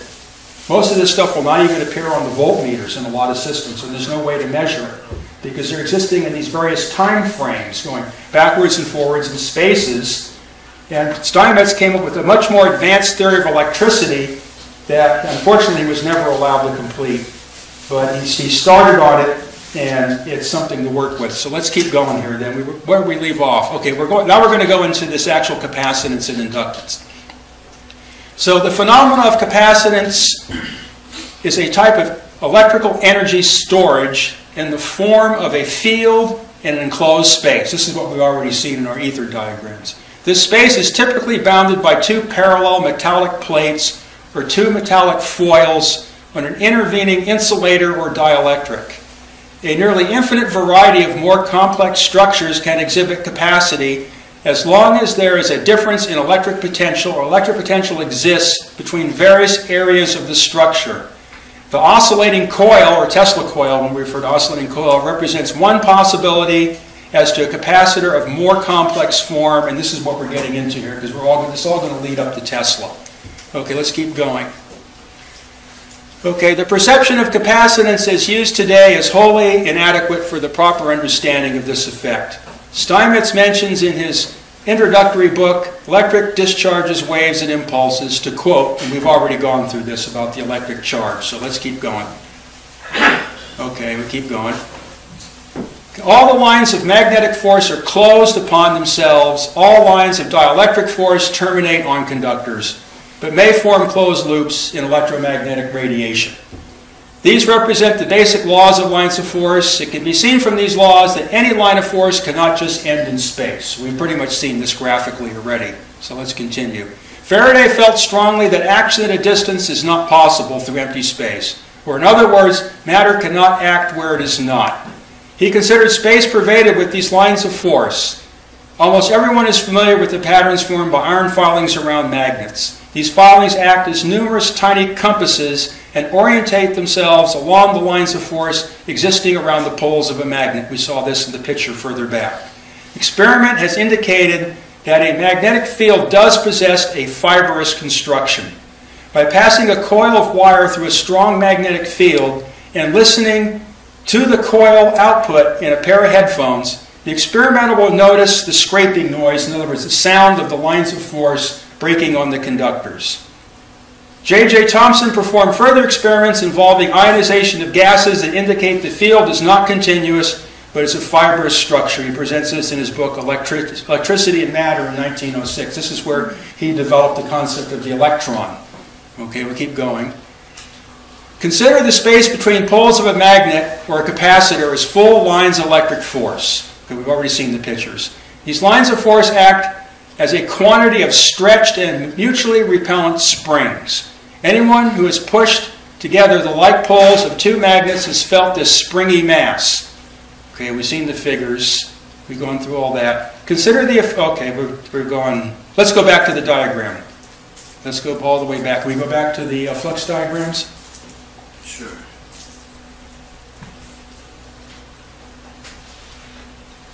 Keep going.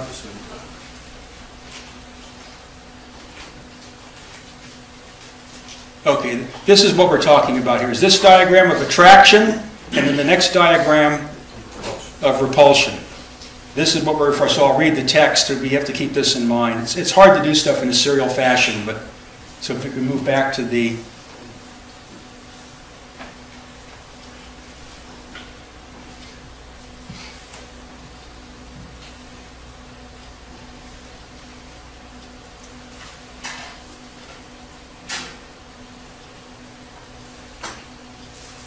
Okay, I think the next one. Okay, so now we're talking about, okay, in figure one, the lines of force are more dense along AB between the poles, and that more lines on A are facing B than are projecting outwards to infinity. So in other words, the lines are in between the two objects. Considering the effects of the lines of force on A, these lines are in a state of tension and pull on A, because more are pulling on A towards B than those pulling on A away from B, we have what appears to be the phenomena of physical attraction. Now we observe from figure 1, notice how that the poles are like rather than unlike. This is the second diagram. Where all lines pull A away from B. This is the phenomena of physical repulsion. The lines of force can be more clearly understood by representation of it as a tube of force or a long, thin cylinder. Maxwell presented the idea that the tension of a tube of force is representative of electric force in volts per inch. And in addition to this tension, there is a medium through which these tubes pass. There exists a hydrostatic pressure against this media, or what's called the ether. The value of this pressure is one half the product of the dielectric and magnetic density, which these terms we've already encountered. There are, then there is a pressure at right angles to the electric tubes of force. If through the growth of a field the tubes of force spread sideways or in width, the broadside drag through the medium represents the magnetic reaction to the growth and intensity of an electric current. However, if a tube of force is caused to move endwise, it will glide through the medium with little or no drag as if little surface is offered. This is the opposite type of wave to the electromagnetic wave. The first one, sideways movement of the lines of force, is like moving a sail through the atmosphere. There must be a reaction. So if the dielectric lines of force represent the sail, if it's moving sideways through the space, then the air movement represents the magnetic reaction, and the energy of the entire system then can be called electromagnetic in analogy. But if the lines of force, if the sail is made to move sideways, there is no drag through the air, there is no velocity of light, there is no magnetic field, and now we have the world of Nikola Tesla. This is the type of transmission he was using. Well, the reason I wanted to ask about the frame drag aspect of a rotating planet like Earth, because I would theorize, based on the model you're presenting, which I think is interesting, uh, that the density patterns of the ether would be different at different parts in the Earth's surface. You would have a radically different ether pattern at the equator, sorry, than you would at the poles. I was kind of wondering if that in some way fits into the... Well, see, unfortunately, these things had never really been worked out. That's why they gave up on the ether. But nonetheless, I mean, if an experiment were to be designed with this idea in mind, would that be one of the things you would want to look at? or- or- Well, obviously, you know, the the thing is to try to get a better understanding of how this all relates to, you know, is the ether more dense in one part of the solar system than the other? The question has always been asked, is the ether carried with the Earth, or does the Earth move through the ether? And I then, just- the I thing would is that meter, the ether being physical at all, is there's no way to pinpoint it. All of these people, as you find in Whittaker's book, for the hundreds and hundreds of pages, came up with all these models of the ether that couldn't possibly work. Michelson and Morley showed that too. Right. Everybody came up, that's why this guy Larmor stated that let's just drop trying to say what the ether is because we have all the interrelations handed to us through observation of electric phenomena. When when that... As Heaviside said, why should I not eat my dinner because I don't understand how I digest it? When the tether was towed behind the uh, space shuttle and poof, um, I'm kind of curious, how do you see that as fitting into this framework of reference? Remember the the tether that was towed behind the space shuttle? Yeah, they were, well, they're trying to drag a capacitor, right? Uh, Or a ball or something? I- I- Actually, they were kind of unclear as as to what they were trying to do, but the theory was they were trying to see if they could actually collect uh, voltage from the earth. Well, obviously they did. Well, they did. But but the fun part was they got much more than they thought they were going to get. I thought that might be sort of interesting. Well, the thing is, is now you have to remember when you get out in, this, in outer space, the rules seem to change quite a bit, but this stuff doesn't, they don't tell you that. For example, you can't see the sun or the stars in outer space. You can see the moon, you can see your hand, you can see the spaceship, you can see rocks, uh, but you, you can see the planets, but you can't see the sun and you can't see the stars. So there's something about, there is a primary light and a secondary light, and then you have to figure what kind of voltage gradients exist between the Earth and the Sun when Tesla says the Sun is charged with 2 billion volts of electricity. The whole of the solar system, it's the only way to explain how a planet like Pluto, because a large number of planets are lining up right now. And what this does is this causes solar flares. Okay, the physicists, you tell that to the physicist, particularly the astronomer, they'll be twitching on the floor, puking their lunch up. But nevertheless, this is well known by all RCA engineers, and it doesn't matter what physicists think, because all RCA cares about is money. And if the transmitters don't work, then the money gets cut off. So what RCA found is that planetary alignments influence the solar flares and the electrical conditions of space and cause these massive changes in radio propagation that go beyond anything you can ex- explain with aurora borealis or because I studied this stuff for a long time at Sonoma State with all the RCA equipment and there's something much deeper going on here. If you look at the planets as elements of a capacitor, and there's electrostatic lines of force between all of these planets, then it seems to make sense that if they move into configuration, the lines of force will be able to join up better. And it's also a condition of capacitance, as we'll get into some of it here, is if you take two objects which have an electrostatic field between them, and the more you try to separate them, because they're mechanically want to pull each other together, the more you try to separate them, the higher the voltage has to raise in order to keep the quantity of energy constant, according to the law of conservation of energy. And the voltage will continue to raise, and this is how lightning is formed, until eventually nothing can withstand that stress, and it blasts. So this is going on in outer space, and somehow, as a friend of mine said, NASA is abbreviation for never a straight answer. Well, actually, you, you, you, okay, that's a very good answer, but, um, you do have a comrade, and I'm sorry, I can't remember the name now, sorry, Pierre probably knows it. There's a guy who wrote a book called The Electric Universe. and he- Yeah, I'm trying to communicate with him, but he doesn't seem to be interested in anything I'm working on. But your whole idea of the planets lining up, Right. has some. Well, it's not my idea, it's kind of what the idea. I'm not really creating any of this, I'm just taking all the pieces and putting them together, I'm just kind of, you know, they told me in high school that I was retarded. So I'm just kind of, you know, a homeless person that just takes books and pastes pages on, you know, other pieces of paper in the, in the public library. I was accused of this, it's okay. But- Let me get back to this because I don't want to lose track of our concept. So, we're talking about lines of force and capacitance.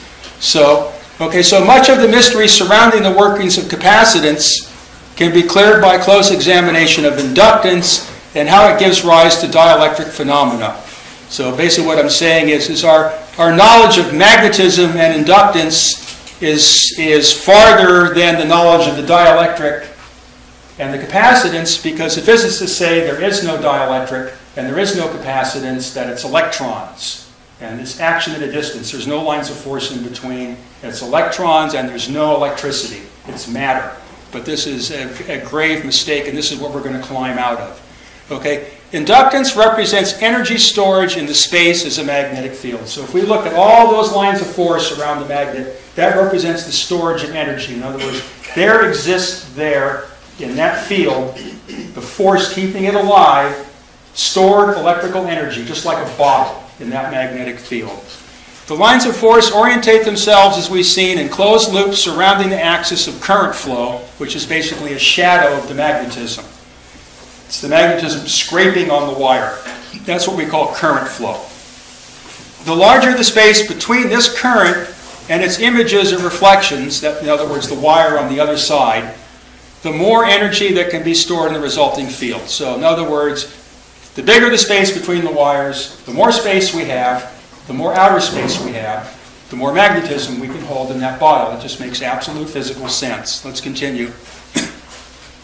The process of pushing these lines or loops outward, causing them to stretch, represents storing energy as in a rubber band. A given current strength will hold a loop of force at a given distance from a conductor passing current, hence no energy movement. The situation stabilizes itself. If the flow of current increases, the energy absorbed by the field, I can't read it, in the, uh, someone read that for me, or can, Absorbed by the field as, okay, as the loops are then pushed outwards at a corresponding velocity. Because the energy is in motion, an electromotive force must now accompany the current flow in order for it to represent power. The magnitude of this electromotive force exactly corresponds to the velocity of the field.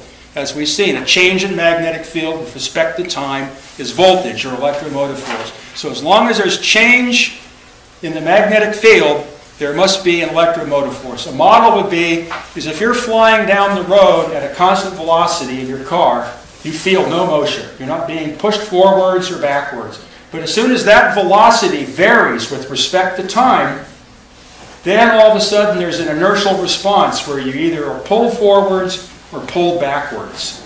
This variation in velocity, the rate of change of velocity, where velocity is analogous to magnetism through the swirling of the ether, the electromotive force results as a reaction to any type of change in that system, just as inertia. In fact, we, could, we call inductance in electronics electrical inertia.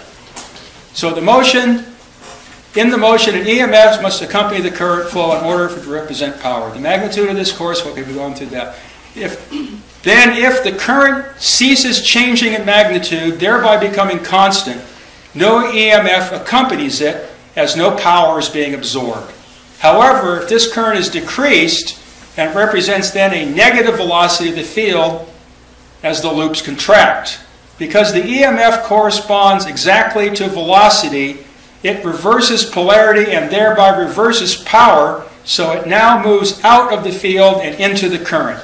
Since no power is required to maintain a field, only current, the static or stationary field represents stored energy. Okay, we'll move to the next uh, page. Many interesting features of inductance manifest themselves in the two limiting cases of trapping the energy or releasing it instantly. We call these the limits of zero infinity. In other words, time equals zero or time is instantaneous. In other words, there's no time to grab onto. When it is switched off, the inductance drains its energy into the resistance that converts it into a form of heat. We will assume a perfect conductor that has no resistance. In other words, we have a coil or a system that's cooled to absolute zero, let's say. If we remove the current supply by shorting the terminals of the inductor, we've isolated it without interrupting any current. Since the collapse of the field produces EMF, this EMF will tend to manifest. However, a short circuit will not allow an EMF to develop across it, as it has no resistance by definition. No EMF can combine with current to form power. Therefore, the energy will remain in the field. It will be trapped. It will be closed. The door will be closed by the wire tying the two ends of the coil together and forming a complete circuitous loop for the magnetism to be trapped inside. The experiment of this is if you take a piece of lead cooled to absolute zero and drop it in the liquid helium that's cooling it to absolute zero on a magnet, is it will float on the magnetic lines of force because now it's become a perfect conductor, which is not true. It's a perfect, it's a perfect obstructor, like Heaviside says. The magnetism cannot get into the counterspatial or interdimensional material of the metals because of the absolute zero and cause electron flow. So the so-called conductor will float on the magnetism because there can't be any change in the energy balance. So you have like a, a type of magnetic shock absorber or spring. It can't go fall down because the magnetism will hold it up by the, or exactly what we're talking about here. Any attempt to collapse the field increases the current, which pushes it right back out. This is one form of storage of energy. Okay, now we're going to go on. Okay, now we're going back to our fields. This is where our energy actions are, is in this field. Let's keep going. We're going back to our fields again. So this is the space we're in. Okay, now, very interesting and dangerous phenomena manifest themselves. This particularly when you're working on DC ships. This is something you really have to watch out for. Manifests itself when the current path is interrupted. In other words, if you break the circuit wide open, like one of those vacuum switches tried to do on the substation uh, disconnects. In this case, the resistance is best represented by its inverse conductance. The conductance is then zero. Because the current vanishes instantly, the field collapses at the velocity approaching that of light, theoretically. That still hasn't been measured. As EMF is directly related to velocity of flux, it tends towards infinity. Very powerful effects are produced because the field is attempting to maintain current by producing whatever electromotive force is required. That's what starts feeding these flames on the switches. If a considerable amount of energy exists, say several kilowatt hours, that's what you use in your house in one day, or 250 kilowatts for a lightning stroke. A lightning stroke has 250 kilowatt hours, or 250 units of energy that we're dealing with here. The ensuing discharge can produce most profound effects and completely destroy adequately protected apparatus. So if let's say I have a 50 horsepower DC motor, it has these giant inductance coils in it to create magnetism. Now if I go into the contactor box, I find this big resistor in there. And what it's designed to do is when that contactor opens up and tries to disconnect the inductance from the rest of the bounding electrical system, the, the, collapse of the magnetic field will generate whatever voltage is necessary to keep jumping across those contacts and it will leap out and kill you. I have to stop you for a sec. For a sec. Whatever voltage is necessary to keep jumping across magnetic field, which represents stored energy, and try to stop the field from existing or create whatever voltage is necessary. So they put these drain resistors inside the motor starting boxes to absorb that blast, so the magnetism can release itself in a sane rate. So this is something in DC you have to deal with this situation. And what will happen is if you break the circuit instantly, we'll get it, but if you can't do it, it gets into another process inside the windings that will prevent it from going to infinity, and that's what we're going to go into next. The magnetism, the energy has to go somewhere and finds another route. So let's keep going. So now we have another form of energy storage to try to absorb this up, and that's the capacitance. Okay, through the rapid discharge of the inductance, a new force field appears that reduces the rate of inductive electromotive force formation. This field is also represented by lines of force, but these are of a different nature than those of magnetism.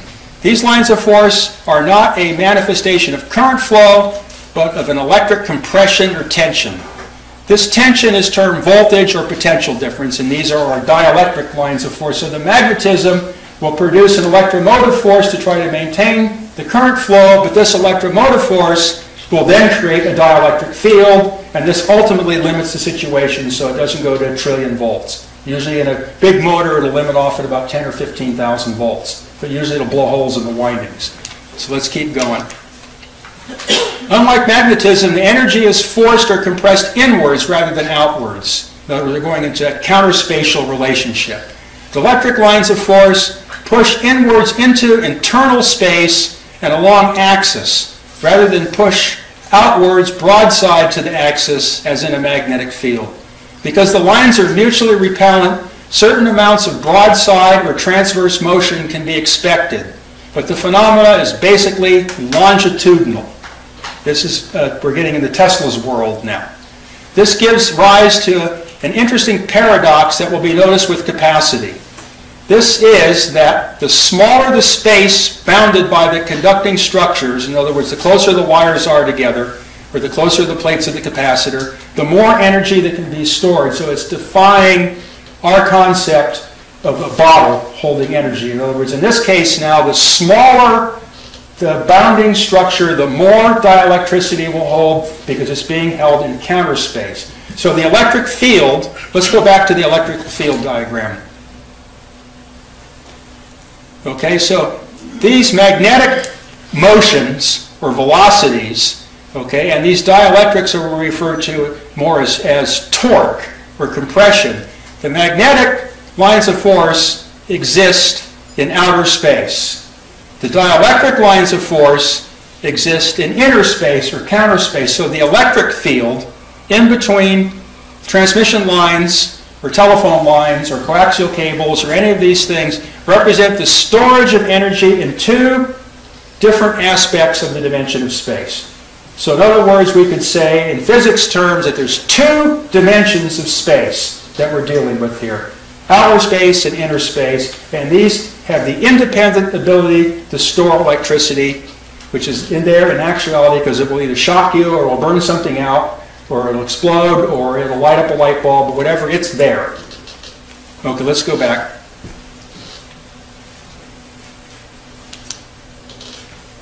Okay, now where did I leave off? Okay, I need to go a little further. Uh, we still, we're in capacitance or inductance. Do you remember? I don't know where we're at. Wait, we're at 13. What's that? What number we're on? 13. 13? Okay, let's go back to 13. Okay, there we go. So the smaller the space bounded by the conducting structures, the more energy that can be stored. This is the exact opposite of magnetism. With magnetism, the units of volume of energy can be thought of as working in parallel, but the units, volumes of energy and associated with dielectricity can be thought of working in series. So magnetism tends to deal more with the square area type of, of space storage, where the dielectricity is more the space in between the lines on the ruler, which can keep getting smaller and smaller, where this one keeps getting bigger and bigger. Okay, let's keep going.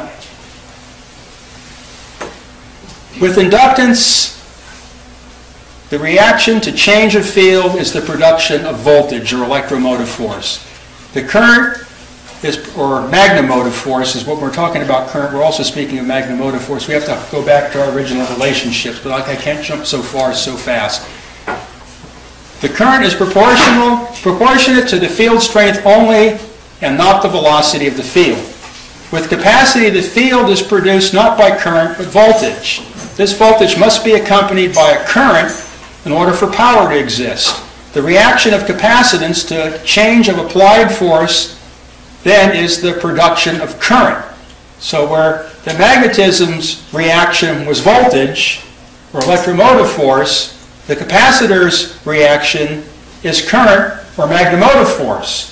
So the inductance reaction of electromotive force creates a potential to charge the capacitance, but the capacitance reaction creates magnetomotive force, which tends to feed the inductance. So we have energy trapped in a, a self-denying situation where one storage is the antitheses of the other, and the energy can never stay put. It has to constantly go back and forth. That's how we get our frequency. If we go back to the time equation, this is what determines the frequency, it has to go back and forth, it has nowhere to go, and it can't stay put. So let's see, I left off. The current is directly proportional to the velocity of the field strength, just like with magnetism. When voltage increases, a reaction current flows into the capacitance and thereby energy accumulates. If voltage does not change, no current flow, and then the capacitance stores the energy which is produced in the field. So we store the energy in the coil by tying the two leads together, but we store the energy in the capacitor by taking the two leads apart. So then if we look at coil and capacitor together, one is closed and the other is open, and we can see how this denial process starts this exchange. It's like an antithesis that can't get out of its loop, and it has to occur at a definite frequency. So the frequency is the third dimension then, Well, no, frequency is, is, is a time dimension where the inductance and uh, capacitance are geometrical proportions, spatial geometrical proportions. They have no real dimensions in their own being. They're more, well, I'll get into that later, how, what the dimensions of these things are. If, okay, so where did I leave off here now? If the voltage decreases, then the reaction current reverses and energy flows out of the dielectric field. As the voltage is withdrawn, the compression within the bounded space is relieved. When energy is fully dissipated, all the lines of force vanish. So what we've seen is when we discharge the inductance by breaking the circuit, in order to keep the situation in the realms of reality and not infinity, the dielectric field had to take all this up. So in, in these paragraphs, we've seen how energy is basically moved out of the magnetic field and into the dielectric field, and then the reverse situation can bring it right back. Let's go further on. Because the power supply which provides the charging voltage has internal conductance, after it is switched off, the current leaking through the conductance drains the dielectric energy and converts it to heat. This is just like the resistance did in the inductance coil. We will assume per perfect capacitance having no leakage conductance. In other words, in the inductor we had perfect conductivity or zero resistance, and in this case we have zero conductance. Now we have perfect insulators.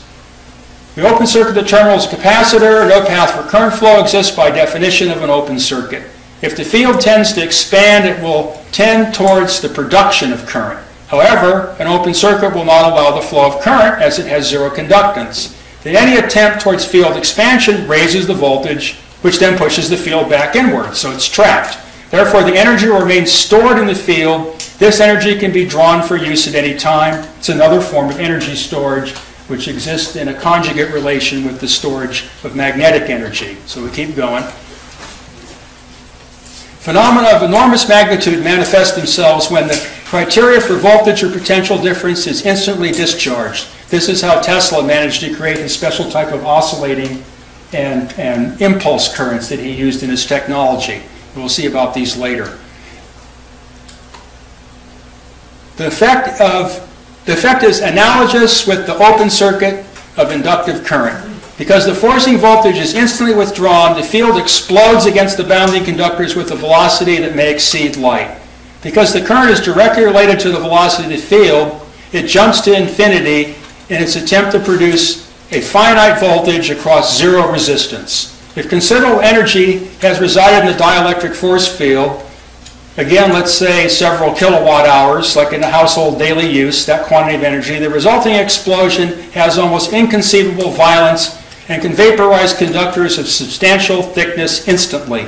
Dielectric discharges of great speed and energy represent one of the most unpleasant experiences the electrical engineer encounters in practice. When you're dealing with these giant phase-advancing capacitor banks in these substations that connect the grid together, is if those things stay charged, is if you don't drain it through a resistor, but you try to short that thing out, the the blast will just basically blow your eardrums right out and blind you.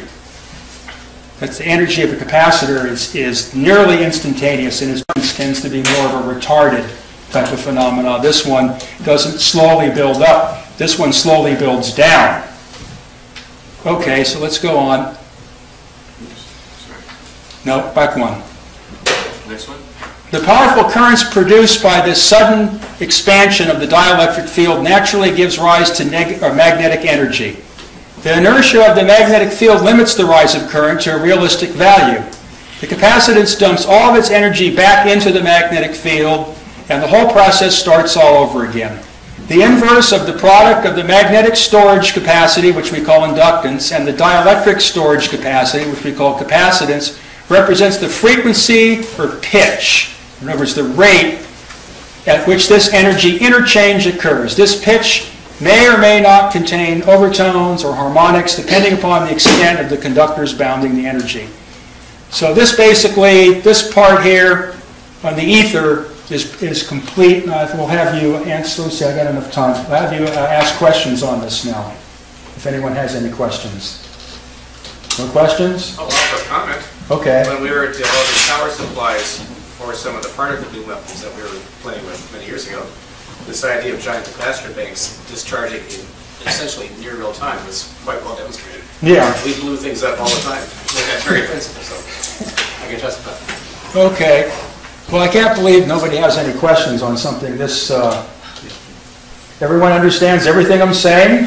Oh, that's a big thing. How how many people understand 10% of what I'm saying or more? Okay. I think somebody, everybody's getting something out of it, Oh, though. yes. Okay. Well, as long as I'm not putting everybody to Well, sleep. let me throw one question out, since we're talking about this kind of stuff. What if you had the potential for time phase shift, even very slightly? You would then perturb dramatically, I would think, the energy quotient potential that's given reference point in this model. Possibly? Yeah, that's, that's what, remember when I went back to the, um, I don't know if we can go back there or not, but when I, when I showed the dimensions of resistance were inductance varying with respect to time, and then I showed the dimensions of uh, conductance where capacitance varying with respect to time, that's the time shift. And what that does is then energy starts to go sideways into a, a dimensional relationship where it's no longer energy. Its pieces may still be there, but it's no longer, the pieces no longer make the pie, which we call energy. Right. Instead, we just have the can of cherries and we have the bag of flour. They're all still there. They haven't gone anywhere. We can take energy, okay? Now, according to Heaviside's law of the continuity of energy, that energy that exists in this capacitor coil can vanish as long as it exists in another time. But that still meets the requirement for the law of continuity of energy. So this is basically how we get energy synthesized in electrical systems is by moving it around in time. That's where an alternating current phase is always the number one word in everything we're dealing with, is where are you at in the cycle? And you can build electrical machines to do this. I've seen them where energy will go into a generator, okay, and the generator will have no load connected to it, okay, and you can have a kilowatt meter, okay, sitting on the input of this generator, not an amp meter or voltmeter, won't give you the, the real energy uh, flow. It'll give you a, a false reading. But if you have a, a power factor corrected kilowatt meter, or a kilo, I haven't done it with a kilowatt hour meter, that would have been the proper way to do it. Energy will go into this rotating machine, which varies re- with reluctance with respect to time, such as an Alexanderson alternator, and the energy will vanish. You'll be yanking power and paying for it from the utility company to make this thing spin, and the energy is not heating the bearings up, it's not making windage, it's not coming out of the shaft, out of the wires, or the energy is simply taken apart by causing this time shift in the magnetic cycle in the 60-cycle alternating current field. Well, given that, that's why I want to get back to this frame drag stuff, because time has been shown to be a a non-linear dimension, it's been proven.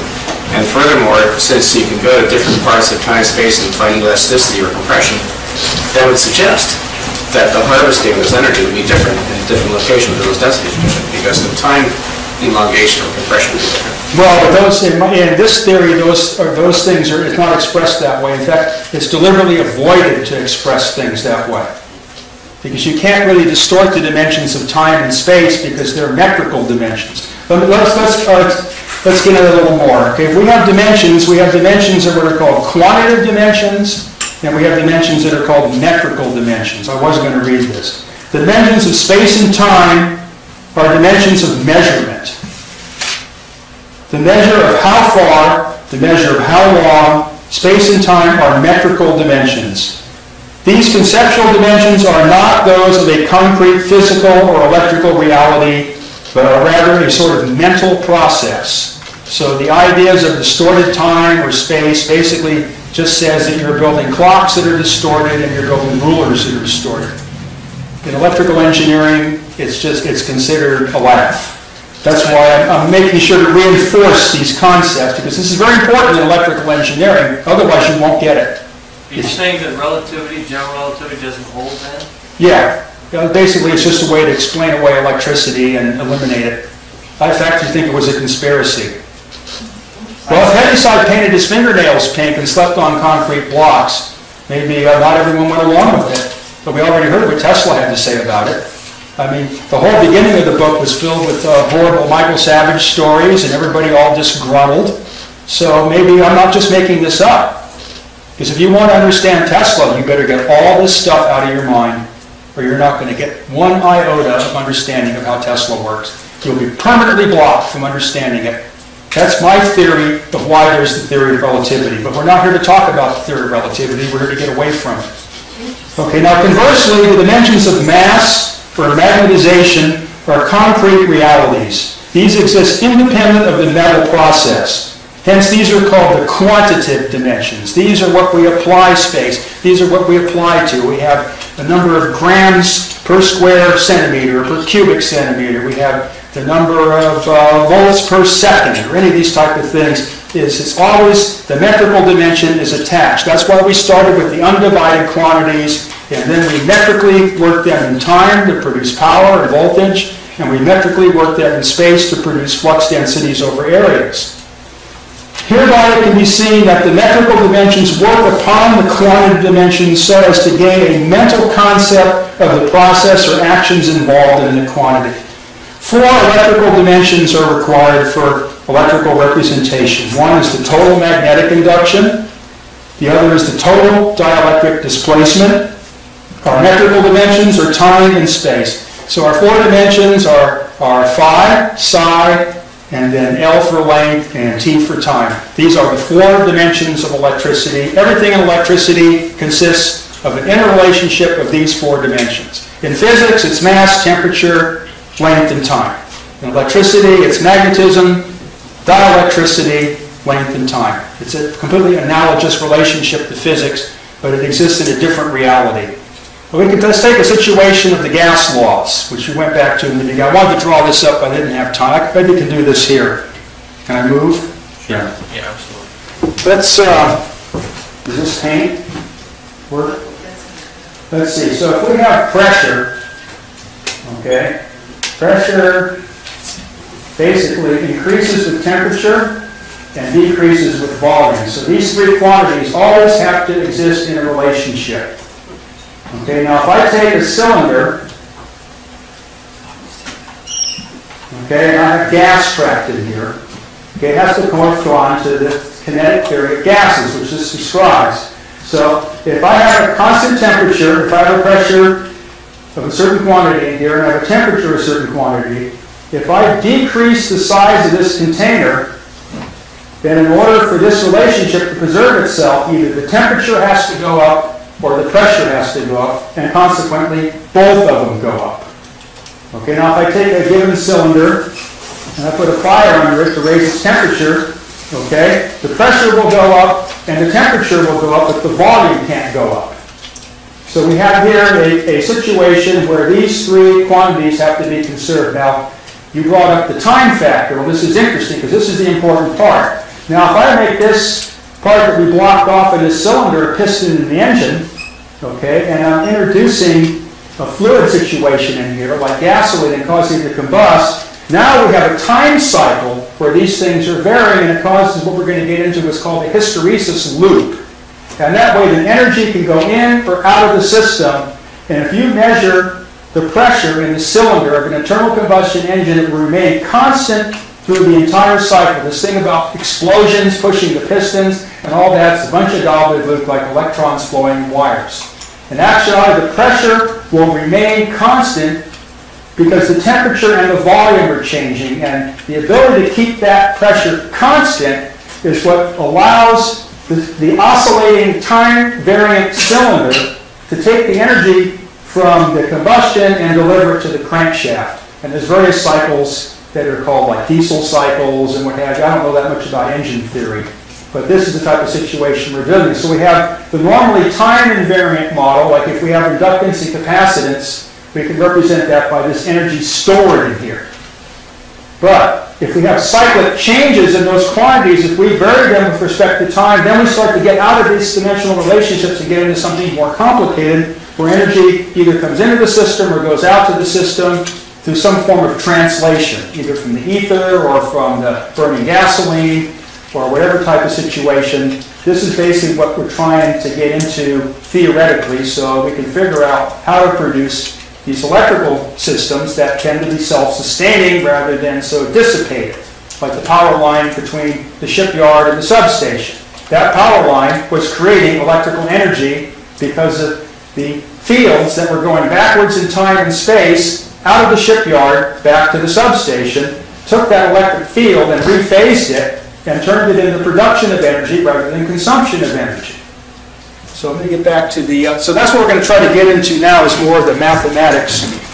Were those lines to the shipyard dual paired lines? It was uh, uh, 600 amp, three-phase, uh, 12,000 volt power line. But were they like pairs of lines? Yeah, they were big, heavy copper cables, two in parallel for each phase. Yeah, roughly probably, you know, about a thousand pounds of copper per span. If you ever stuck anything across those, it'd be the, the big blue flash. They'd be, uh, I don't know if anyone's ever used acetylene torches, but when you don't give it oxygen, you know, those little black flakes floating in the air? That's about all that's left after you tangle with 12,000 volt bus bars. We've been talking for uh, two hours, almost three hours. Would you, you want to take a 10-minute break? Yeah, that'd probably be good. Okay, we'll take a 10-minute break. Okay, we're recording. If we can go to the first equation. What I'm saying is so fascinating, you just have to hear it. Go on the, uh, let's go to the equation section now. Next one after this. Attention, please. The next one. Next one. Yeah.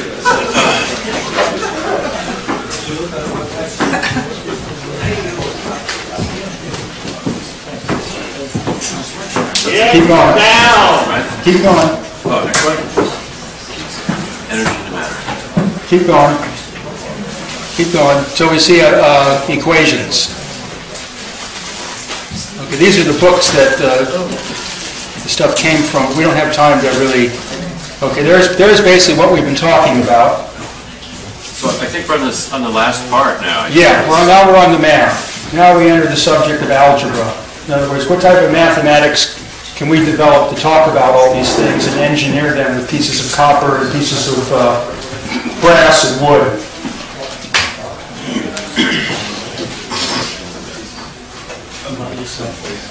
So you had that equation up there before we took a break. Are they gone? Which, which one? The next, the next frame. We're, we're, We need to keep going. yeah, we're in algebra now, right? Yeah. Yeah, yeah, it's, Does it take a while to load in? yeah. Oh, okay. Loading it right now. Please, can you remind me where these notes came from? The story of these notes that you are sharing with us? Whose notes? What book is this? Let me see. You have a number of books. Which book is Those points that you are, I'm pointing until now. The notes that we, you have been going through. Well, this one got all screwed up. Yeah, I didn't quite, uh, I think uh, has entered the uh, system. Yeah, the resolution of the, the, the screen on the drawing doesn't match the resolution here for some reason, so. Let's go to the next one, see if it's all screwed up. Not too bad. Okay. So let's go back to the organ pipes. Was there anything before the organ pipes? No, that's number one. Okay. So the reason I'm showing this is now we're going to start to talk about algebra. In other words, the way to, to work with this in the engineering reality. You have to be able to calculate. So what we see here is we look at these rows of pipes, which all represent frequencies or wavelengths in what's called a geometric progression. You can see they don't increase at a steady rate, but they increase at a rate of proportionality that grows or decays. That's what we're looking at. This is what's called a logarithm, or an exponential type of relationship. Instead of uh, 1, 2, 3, 4, 5, which is a linear relationship, what we're dealing with in, in studying electricity is a logarithmic relationship, more like 1, 2, 4, 8, 16, 32. That would be a logarithmic or an exponential relationship. So these curves are basically the curves that we're dealing with in our study of electricity, but these curves exist in the dimensions of electricity and not necessarily in physical dimensions such as we see with the organ pipes, but the principles are exactly the same. This, the curvature or the rate of change. What we're dealing with here is we have to have a mathematics which can express change. This was first developed by Newton and Leibniz in what was called the calculus, but the calculus is very unwielding for this type of stuff and a lot of times will not give you meaningful answers. So let's go to the next one. So the archetype of our equations is all based on this form called the conic sections. So if we move our plane of reference, we might call it, through this cone, we have circles, we have ellipses, and we have parabolas. But they're all based on the same form. They just represent a different angular displacement.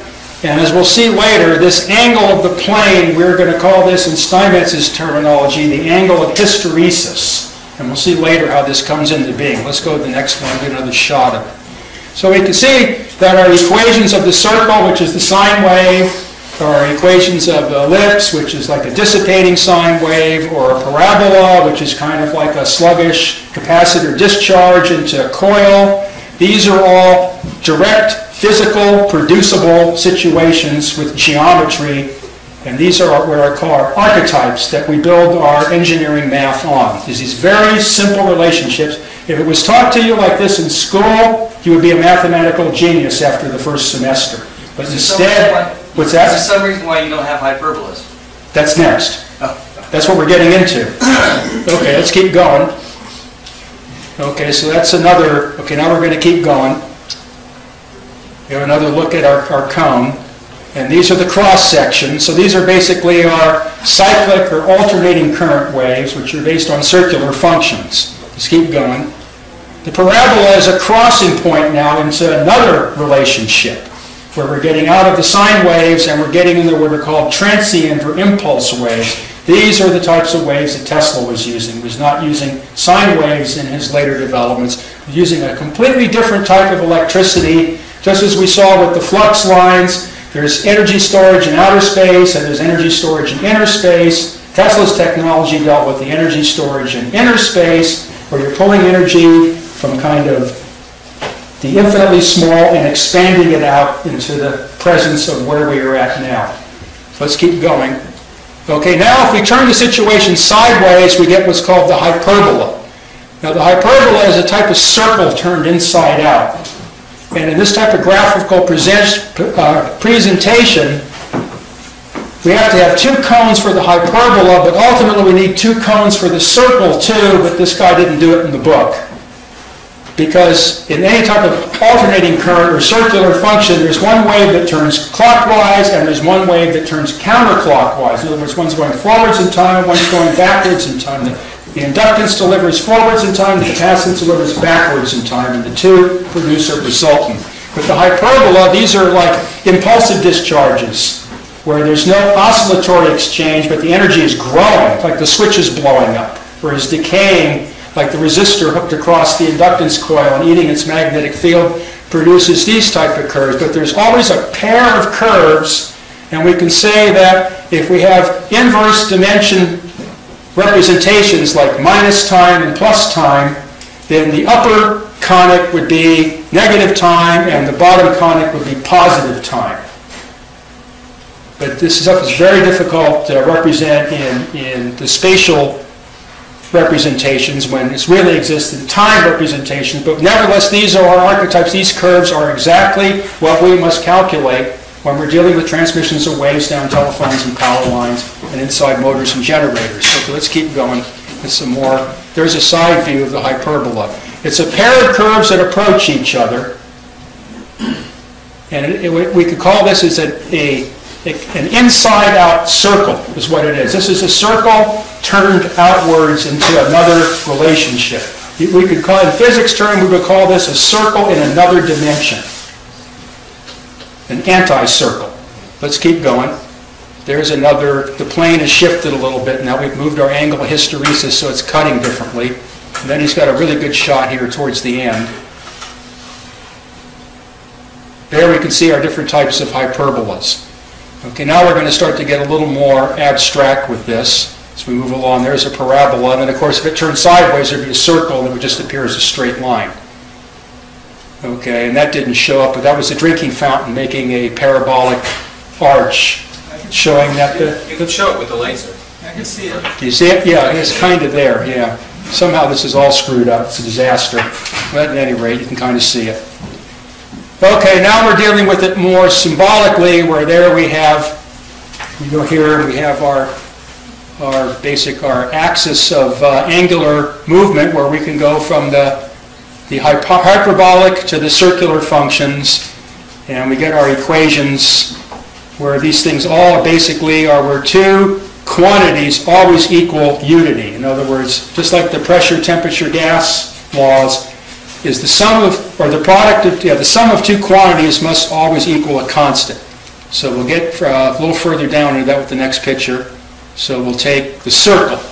Okay, the circle always has a constant radius. No matter where it is, one thing we know is that uh, R always equals 1. Okay, and the way that this part moves and the way this part moves, move it in such a fashion as we go around, one lengthens, this one gets longer as we go around, but this one gets shorter. So this one would be called a sine wave, and this one's called the cosine wave. So this is where our AC waves come from. Is as the generator rotor is turning, is these projections of voltage and current produce these spiral movements. It's like this thing is moving downwards, and as it goes around, it makes a spiral as it moves. So we have our basic uh, mathematical relationships in this, where these quantities if you take the, uh, the how do you say, the Pythagorean uh, addition of them, they must always equal 1. That's very important. All the mathematics that we're going to develop henceforth will all utilize the number 1. The number 1 can actually be used as a calculating mechanism of such ultimate simplicity it's beyond belief. This is what's called the Steinmetz method. So let's go to the next one. Okay, now we have the hyperbola, which is basically an inside-out circle. Now we have, instead of the sum of the two quantities, we have the difference of the two quantities equal unity. So it's a similar situation, but turned inside out.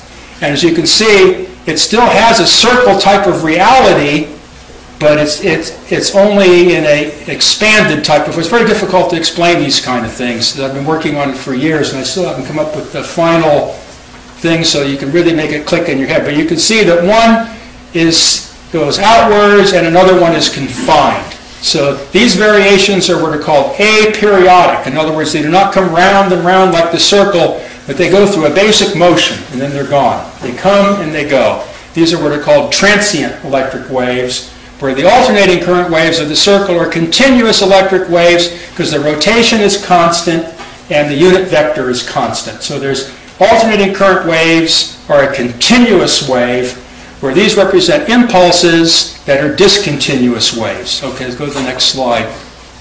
This represented by the, this, this, this graph represents the velocity of light, which must always remain constant. So that means that this hyperbolic curve, where this represents frequency and this represents wavelength, the product of the two must always equal a constant, which is the velocity of light. So like the circle, the hyperbola has a character to it that has to always equal a constant quantity, and that's what makes its shape. This also could be the uh, Lorentz transform for the relativistic uh, mass increase, and time dilation follows the exact same type of curve, a hyperbolic curve, where you approach something but you can never reach it.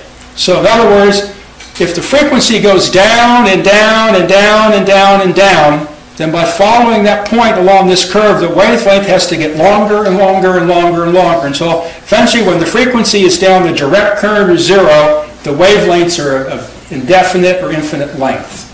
So we have this inverse proportion between frequency. The higher the frequency, the shorter the waves. The lower the frequency, the longer the waves. But they must always equal the velocity of light, and that forces them into this archetype of curvature or rates of change. So here's a basic example of the hyperbola in action. So let's go to the next. Okay, now we're going to, this is, is the Steinmetz symbolic method, and we're going to go, what I've done with the Steinmetz symbolic method over a period of about eight years is I've extended it uh, hundreds of times beyond what Steinmetz did and made a whole system of mathematics out of it to describe all these other type of electrical situations. It's still a little on the preliminary side. It's what Heaviside calls experimental math. Heaviside pointed out that mathematics doesn't really have to be the tight-ass thing that it's normally presented, but you can experiment with it and make up your own mathematics as you go, as long as you can calculate your values from it, that's good enough. And if the mathematicians hate you, then we have an explosion at the shipyard. Okay, so we start basically, we have the number 1 as an indivisible unit. If we take 1 to the 1 power, go to the first power, that equals 1 and can only equal 1. But we can work with this. If we take 1 to the 1 8th power, or we would say the 8th root of positive 1, we must have 8 roots by definition, even though all these roots equal 1. So what this does is now this starts to break into a polar type of relationship such as we find in electricity. So I can take the eighth root of positive 1 and break that down into the fourth root of positive 1 and the fourth root of negative 1. So they can either be represented as an exponent or under a radical sign, but they're both the same thing. So the eighth root of positive 1 divides us or gives us two poles, the fourth root of positive 1 and the fourth root of negative 1.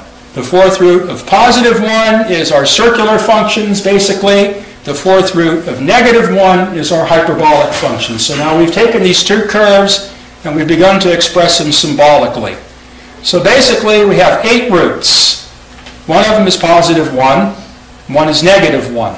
One is positive h, the other is negative h. One's positive j, the other one's negative j. Now this is the Steinmetz method. He uses plus 1 and minus 1 for DC, and plus j and minus j for AC, which almost every electrical technician or engineer has seen is that you always add the reactance to the resistance, where the resistance is plus, plus R, the reactance is plus J times R. I got into this in my last talk. I was referring to how you use these things as operators. So basically, what we've done is we've extended the laws of addition and subtraction to have a more expanded or generalized meaning.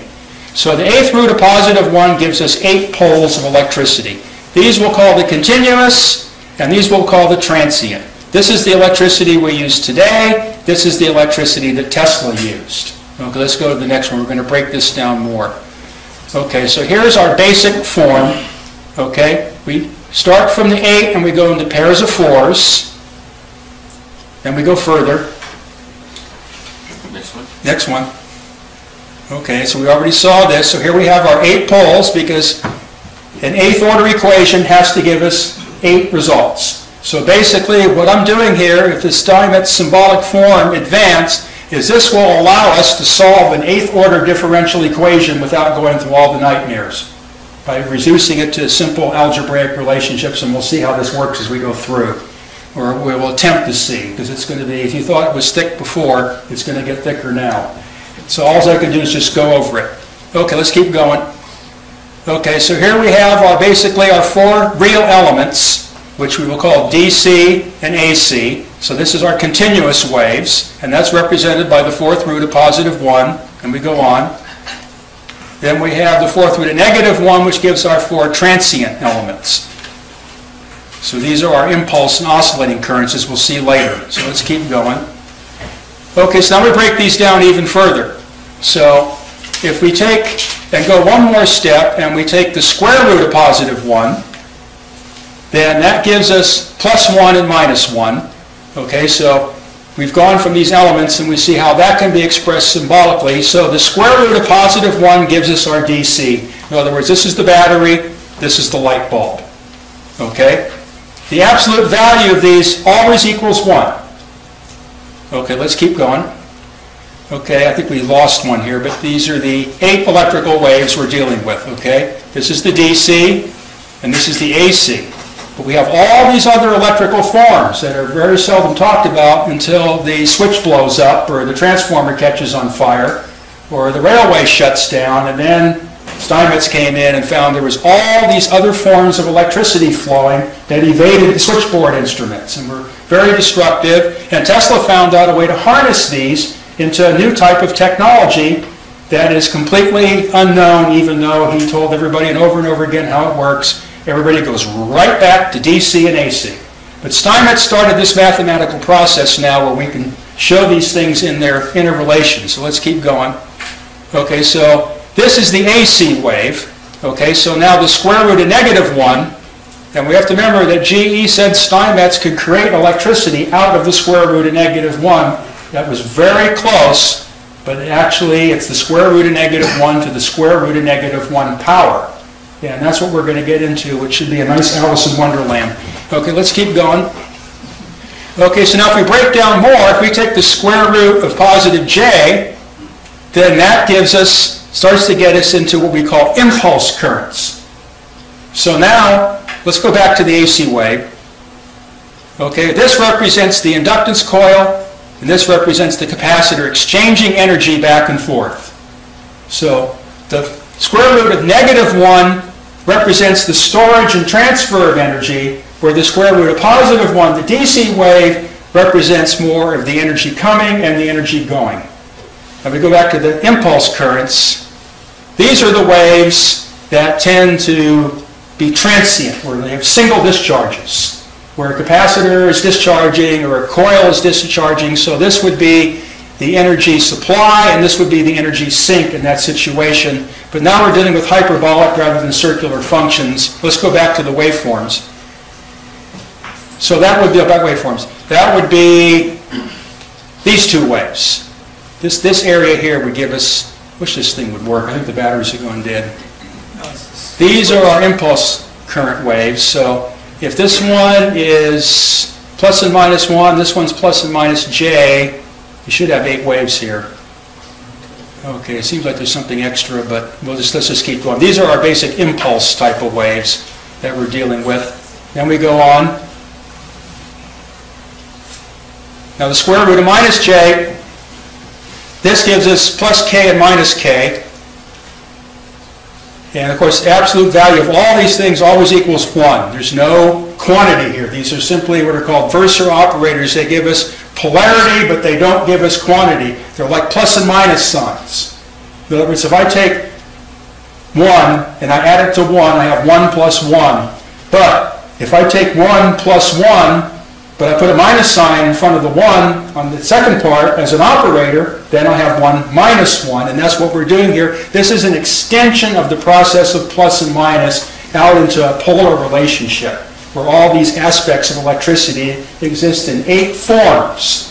Eight forms of electricity in action in a generalized situation. This is what comes out of Steinmetz's symbolic method. So we have a way of dealing with these things with arithmetic instead of differential calculus. The, effects are massive on what you can, understanding you can gain by getting rid of these giant differential equations. Okay, let's keep going. Okay, and then basically one to the first power can be given as the absolute value, that's what the two bars indicate, and this is the absolute value of any of these eight poles is 1. So basically, together, it's a unit. The whole thing operates as a unit, ultimately is not separate. Okay, let's keep going. So we have, these are our basic poles. We have plus and minus 1 like on a battery. Okay, we have plus and minus J like between the coil and capacitor. We have plus and minus H, where it's capacitor going into the resistor, let's say. And we have plus or minus K, where these are oscillatory exchanges where capacitor, resistor, inductor, and resistor exchanges both occurring. So we end up with waves that have, we go back to the transient waves again, the, the oscilloscope type diagrams. These waves are, are represented by a double movement, where these are just simply what are called single energy exchanges. These are double energy exchanges. And then later on, we get into pairs of these and quadruple energy exchanges. Uh, to go back to the physical analogy of the automobile, no, go, let's go, go picture-wise, go forward. Go forward, yeah.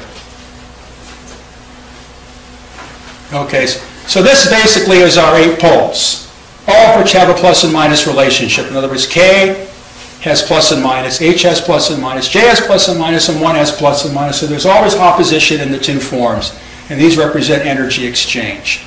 So if we want to look at a situation of energy exchange in practice, okay, as we explained, if you're in an automobile and your velocity changes with respect to time, then all of a sudden, these secondary effects like electromotive force and magnetomotive force appear.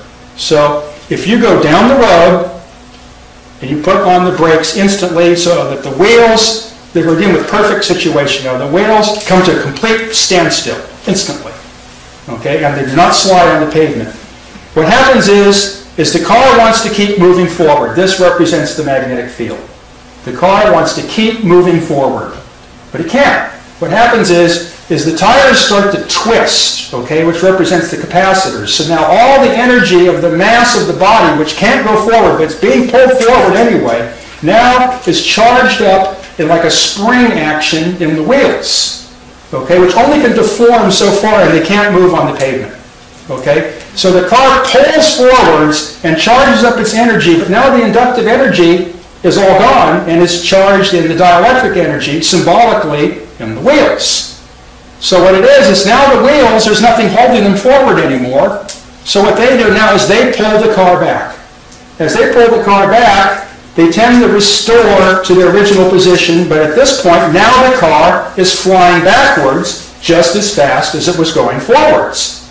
So what it does is now the wheels are distorted backwards in an equal amount, and the car moves backwards the exact same amount it moved forwards, and then again, the whole process starts over, so the car, that's what causes the whiplash when you stop in the car. It's this oscillatory energy interchange produces, let's go back to our waveforms, produces this. The energy's trapped, and the car will just sit there and bounce back and forth forever, but nothing's perfect. So in reality, we don't get an alternating current, we get an oscillating current. Now how does this come to be? What it is, is let's say you slam on the brakes, but now, as we know, the car will skid. Okay? Now, if we go by electron theory, electron theory tells us that the car's not moving down the road, but the road's moving, carrying the car. Now, we know that's a bunch of crap. The road doesn't move, the car moves. Okay? But the relativist only sees the tire tracks and doesn't see the car, like the footsteps of the snowman, of the invisible, invis, invisible man in the snow. The man is not there because you can't see him. All you see is the footprints, and that's all that's real. But obviously, that's not correct in our physical analog. So what happens is now, if the road does try to move, in other words, if the car slides on the pavement, it pulls the pa- pavement forward with it, but the pavement lags behind the car. Now, this is what the electrons do in the wire, and they get hot. The road gets hot, and it makes a screech, okay, which is a disruptive type of oscillation akin to one of these type of situations. It's not a pure tone. It's a breaking, pulsing type of sound. That's what gives it that horrible sound. So what happens is before the wheels can completely absorb all the energy, the car has slid forward and destroyed some of that energy. So the oscillation will die off like this. Now if that rate of energy dissipation is so great that it can't reverse, then we get what's called the deadbeat impulse.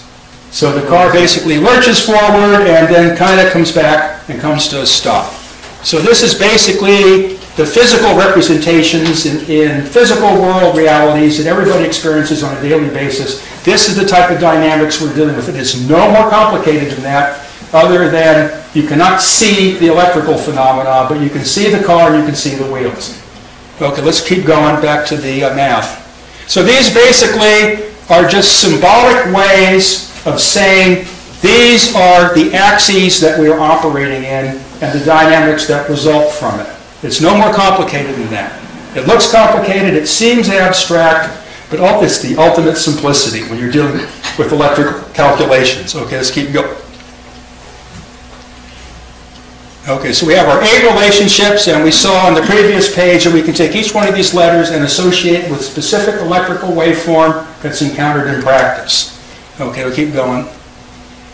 Okay, now I wrote a paper on this that I was going to present here, but uh, there's no time for it because I have to warm you up with all the previous material, so we're just going to fly through it. But this is an example of the Steinmetz method. Let's just go from page to page. We start with the basic AC problem.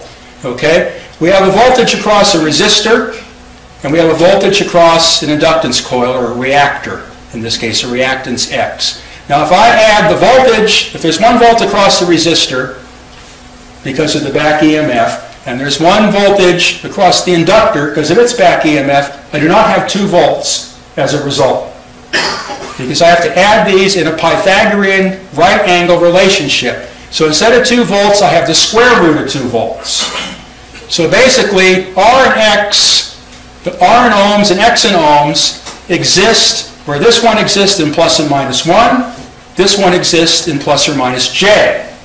So this is the first use of this type of thing. So I would say R plus jx equals z.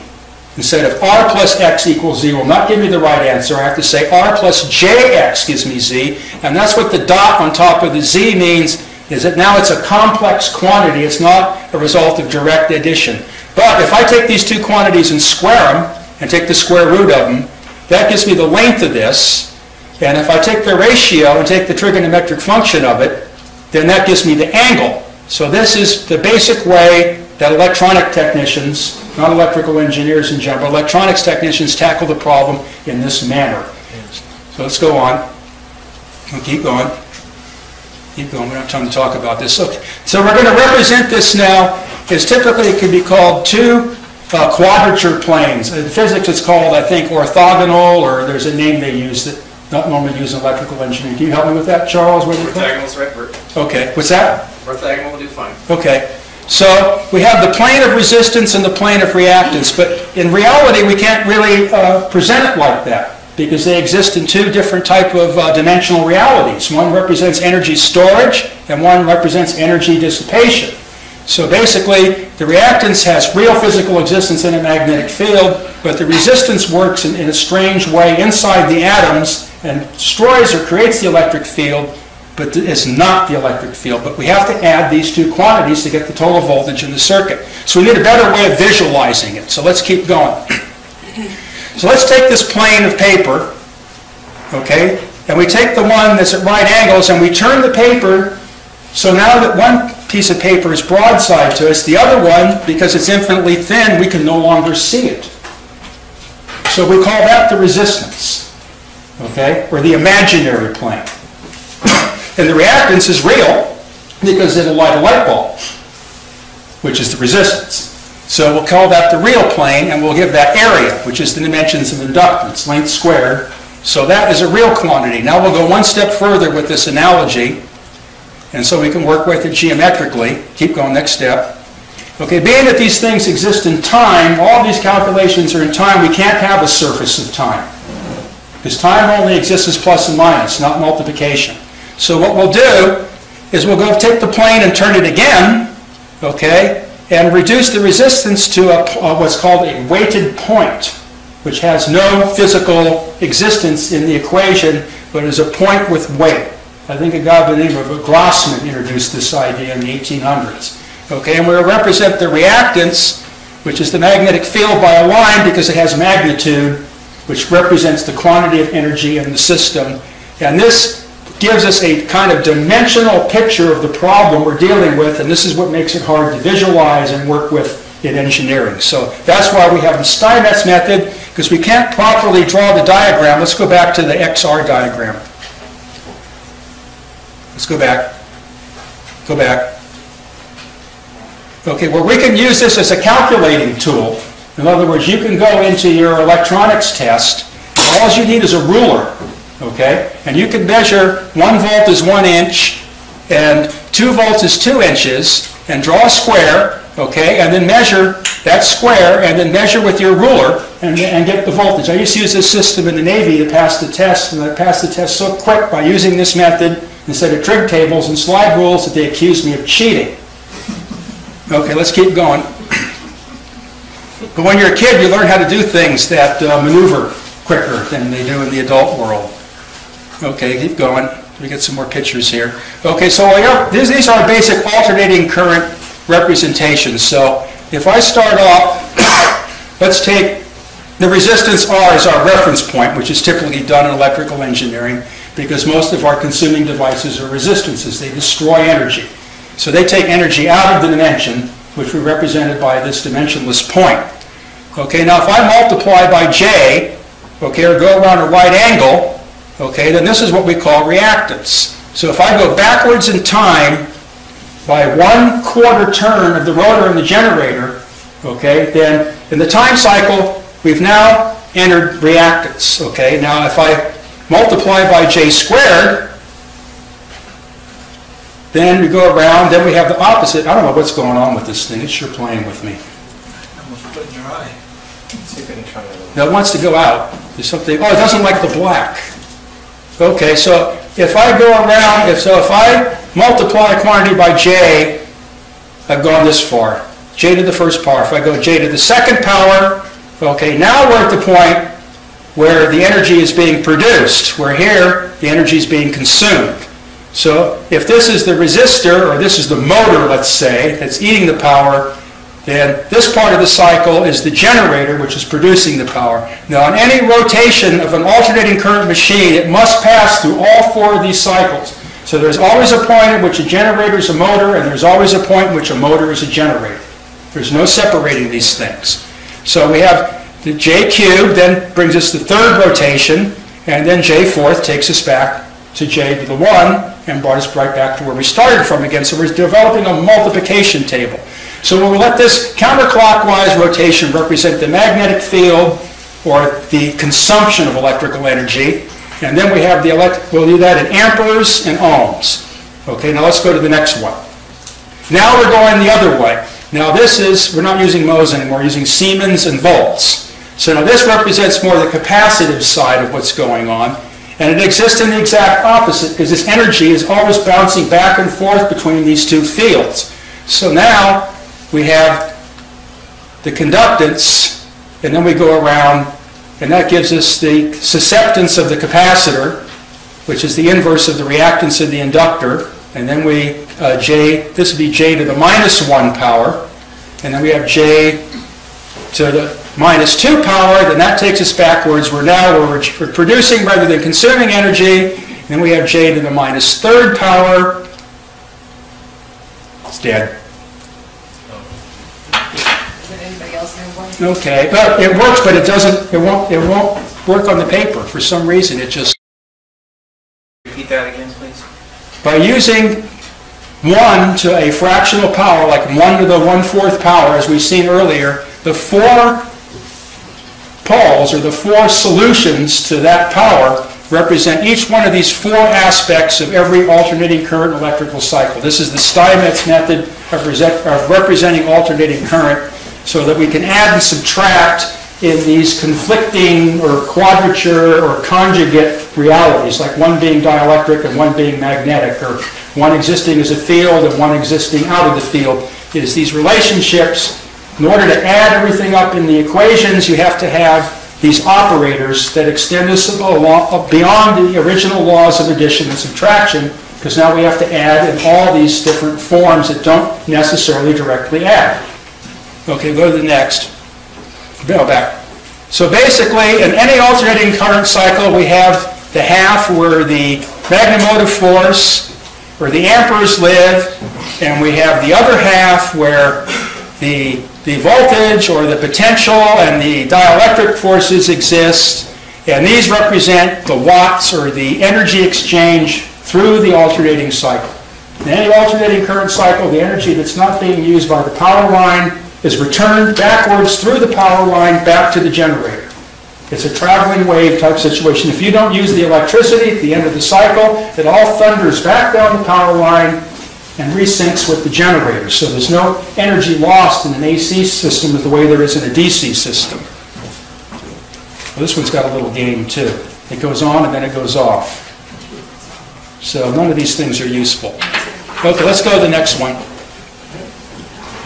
Okay, so this is represented by, we have two situations, one of which we call the power factor, and one which is called the induction factor.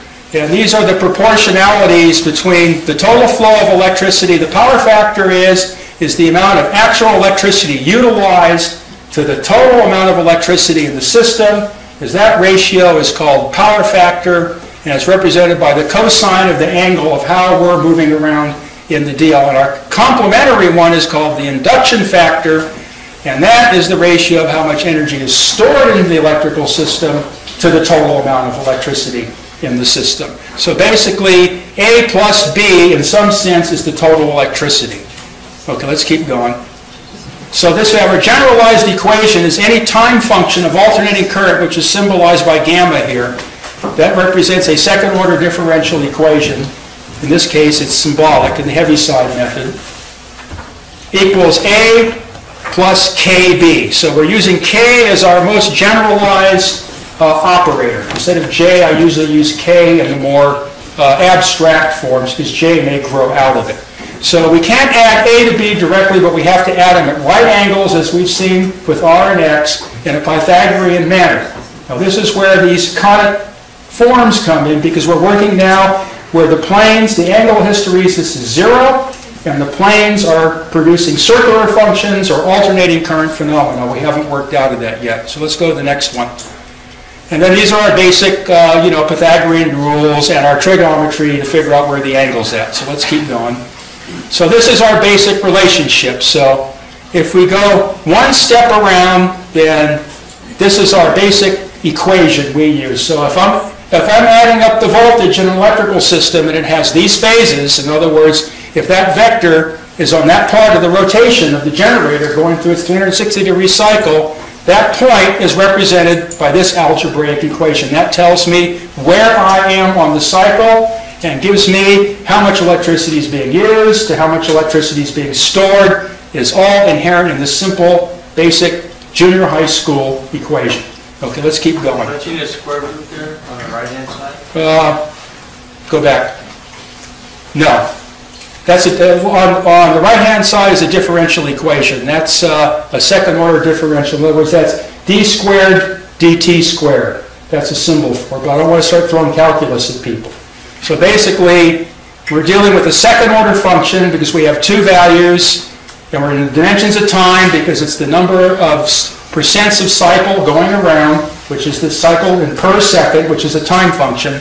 So the generalized function in time, which is gamma in t, in time, to the second order, okay, is equivalent to this. So instead of using a differential equation to describe this electrical situation, which is hideous and complicated, and really not defined, we can do it with the Steinmetz method and just have a basic, simple algebraic addition. So I have my two, I have A on the bottom as a length, and you can see the triangle that represents it. And then I have B as the vertical, and you can see the triangle that represents that. And the quantity of the two always have to equal that unity vector. These are our, our basic circle functions. I don't have much time to discuss this, I have to keep flying. So the exponent is two, not one half. Yeah, squared. Not, that's not x, that's gamma. That's the Greek letter gamma in the parentheses. Alternative to the Yeah, laser yeah, there we go. Okay. Okay, so let's, uh, you know, I really, I'd like to have the time to really make it so people could understand this, but right now, this is all for show.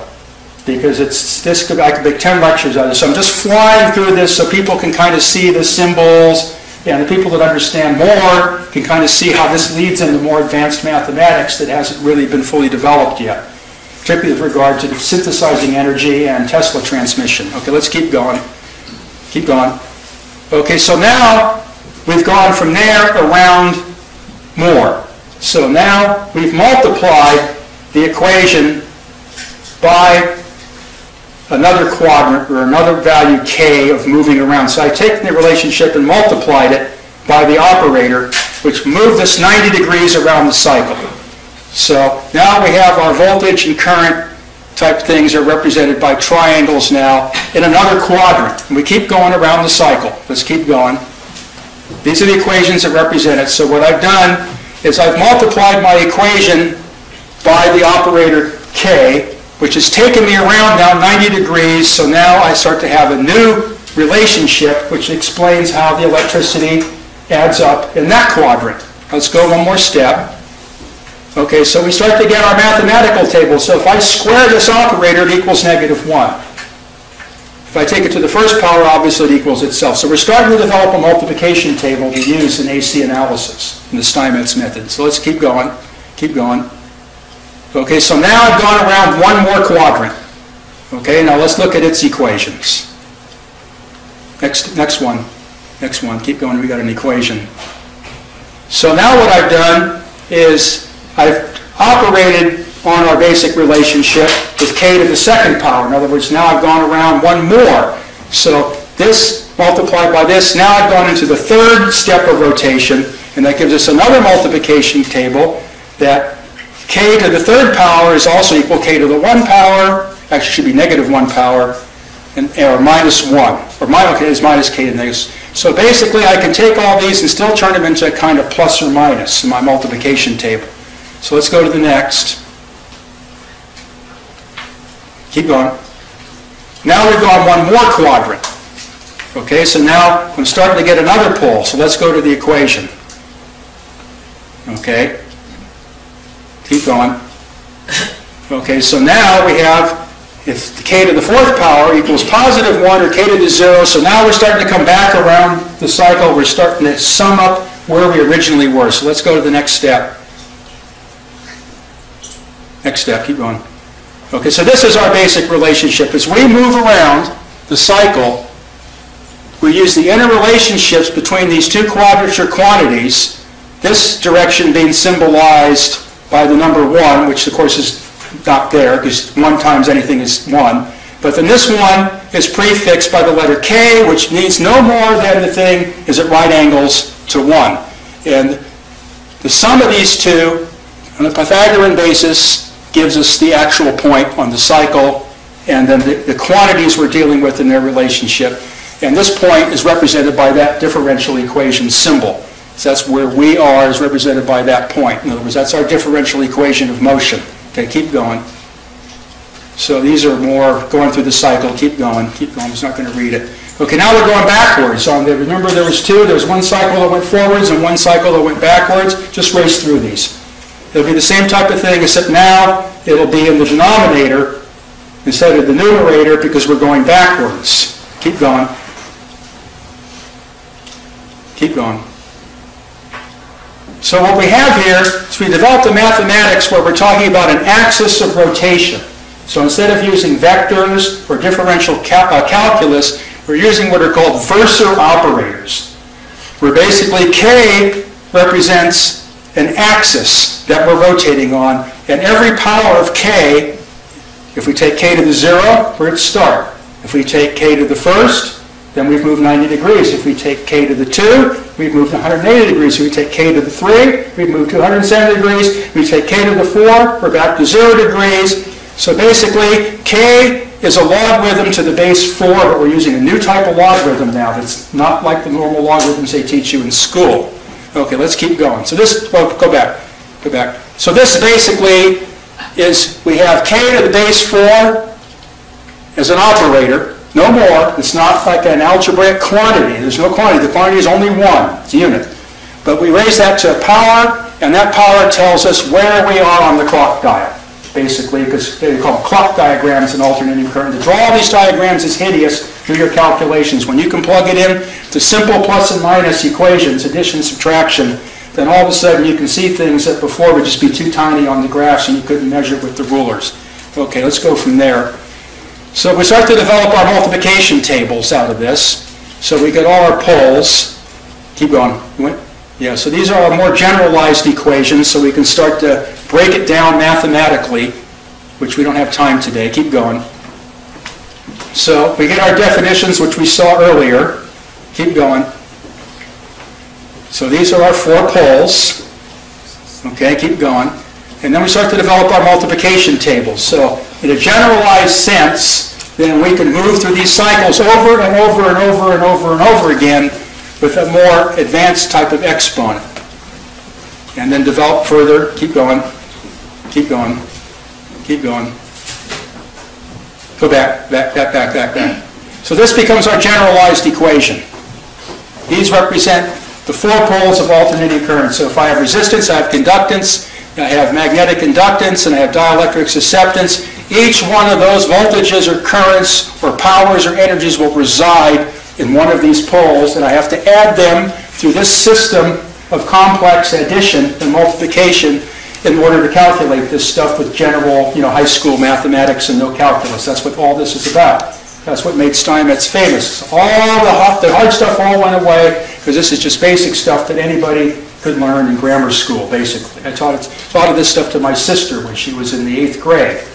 Okay, keep, or the sixth grade, I should say. Keep going.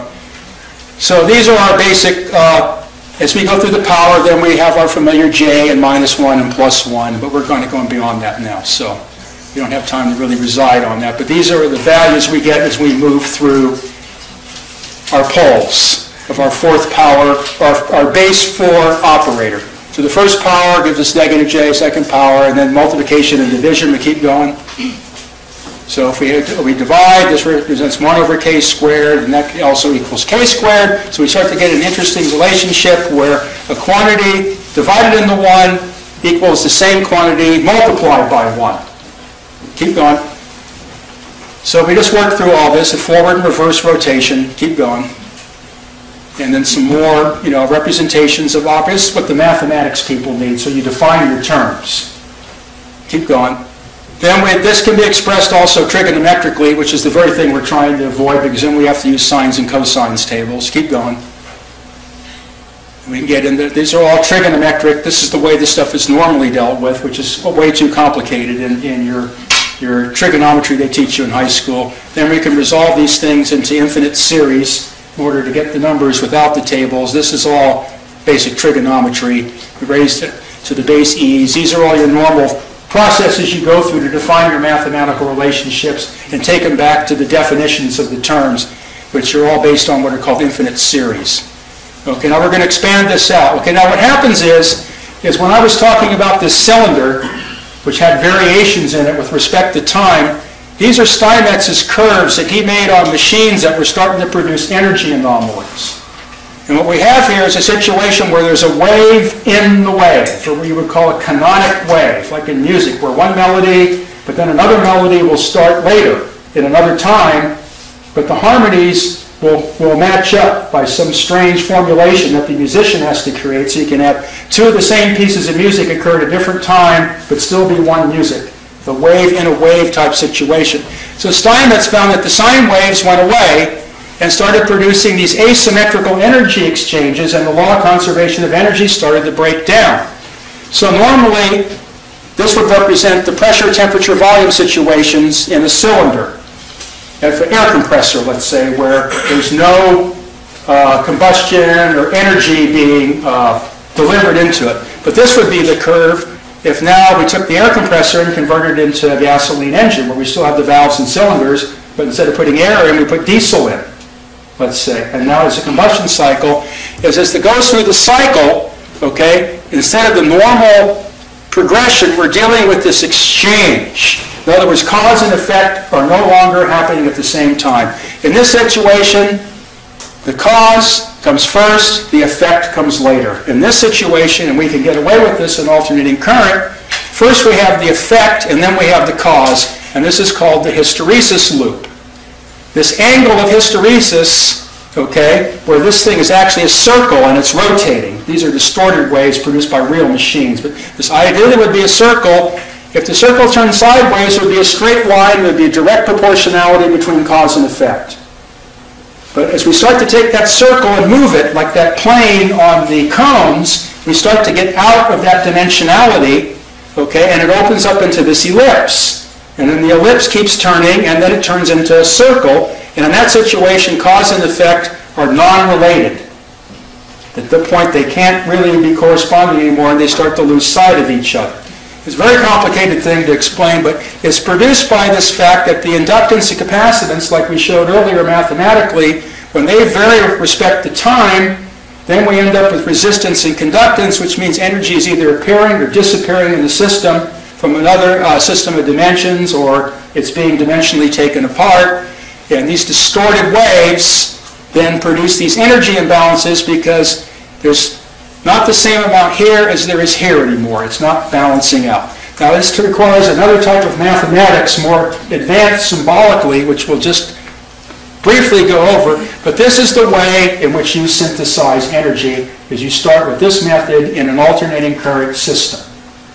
And this is how these power systems would take off on their own, is by developing these hysteresis cycles of these big arcs, changing their properties with those AC cycles, and causing the cycles to distort in these fashions, and then all of a sudden the energy balance goes off into some way where the energy is basically being built out of pieces, out of time and space and induction. And the various things that make energy are being synthesized by delaying the cause and effect reactions or advancing them and separating from each other. It's very uh, theoretical and hard to explain, but this basically is, is how this stuff works. This is, if you're going to do it in an engine, if you're going to do it in a motor, if you're going to do it in a static electrical system with coils and capacitors, it has to be done in this fashion. This is basically how you synthesize energy.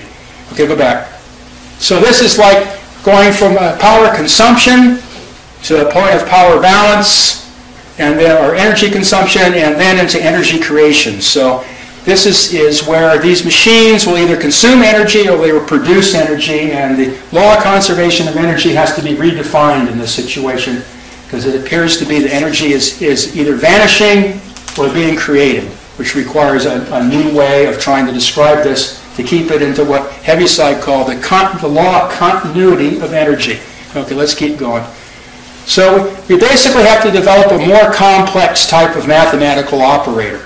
So this basically is the operator we've been using all along, is we have a type of logarithm to a base raised to a power, which is symbolized by 1 to the 1 over nth power. n being how many poles do you want to describe in your electrical system, whether it be 4 or 8 or 16 or 32. But conventional mathematics will only work with the even numbers, unfortunately. If you try to use odd numbers, like in three-phase, or, or any of that type of stuff, then all of a sudden all trigonometry fails and a new type of math and a new type of logarithm has to be developed. This is something I haven't finished yet.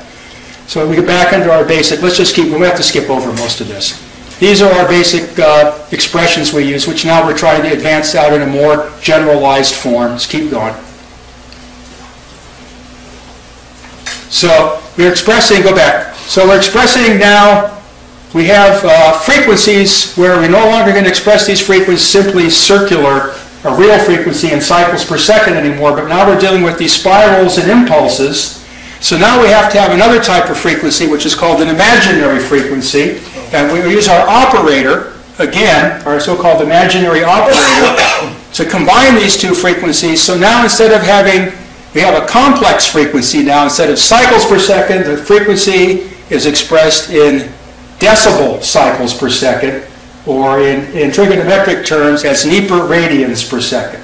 Because in mathematical calculations, it's always radians per second and not cycles, because that way it works out in the exponential equations and this is called nepers. So if I have a one farad capacitor and I discharge it into a one ohm resistor, in one second, the amount of energy in the capacitor will drop to one neper lower than it was originally. So what it is, is a non-cyclic variation in time, where radians are a cyclic variation in time, and the composite of these is what produces the eight waveforms we've seen, because there's, this one can equal zero, or that one equals zero, or they can combine in the same way that we were combining the reactances and resistances, now we can actually work the frequencies. So we're starting to develop now more complex differential equations in order to penetrate these extremely difficult electrical situations, which I just showed you, which are basically unexplainable. Okay, let's keep going. So this, we're getting into our power relations. Let's just keep going and we get to the final deal here because this is, okay, so this basically is an alternating electric wave. This is one half of the sine wave, and this is a aperiodic electrical impulse. So this wave is moving in radians per second endlessly. This wave is moving in meters per second and tends to go on indefinitely also, but it doesn't cycle. It just keeps getting a half of a half, a half of a half until there's nothing left. So this is called an alternating electric wave, and this is called an impulsive electric wave.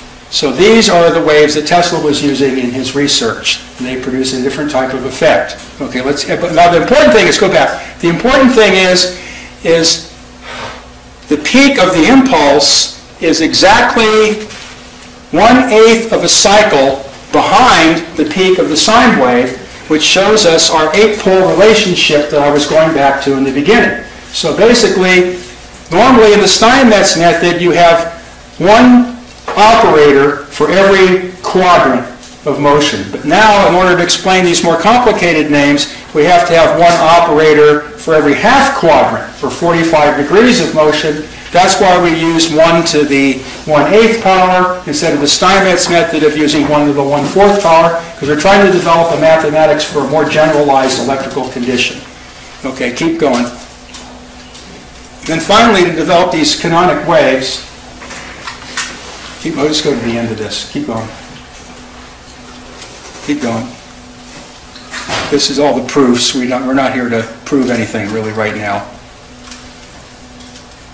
I just want to get to the last page. Okay, so now what we have is we have an operator to the operator power. That is the way in which we can describe these hysteresis situations or these distorted electric waves where the energy now is no longer balanced.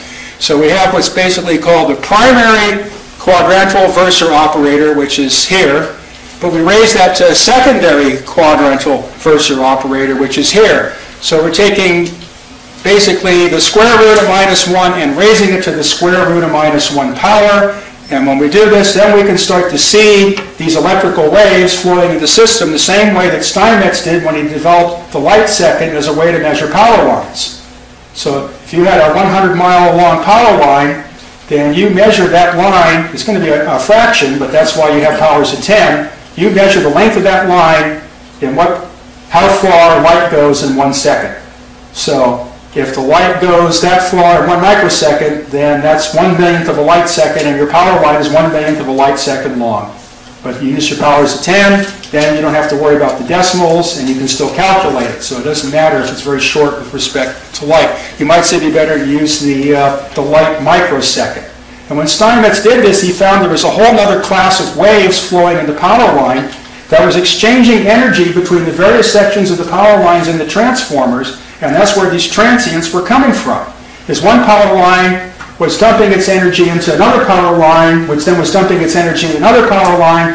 When the waves came through the system, some power lines would deliver energy, but other sections of power lines would absorb energy, and then the transformers would deliver more energy, and it produced these very complex waveforms that up until Steinmetz's time there was no theoretical explanation for.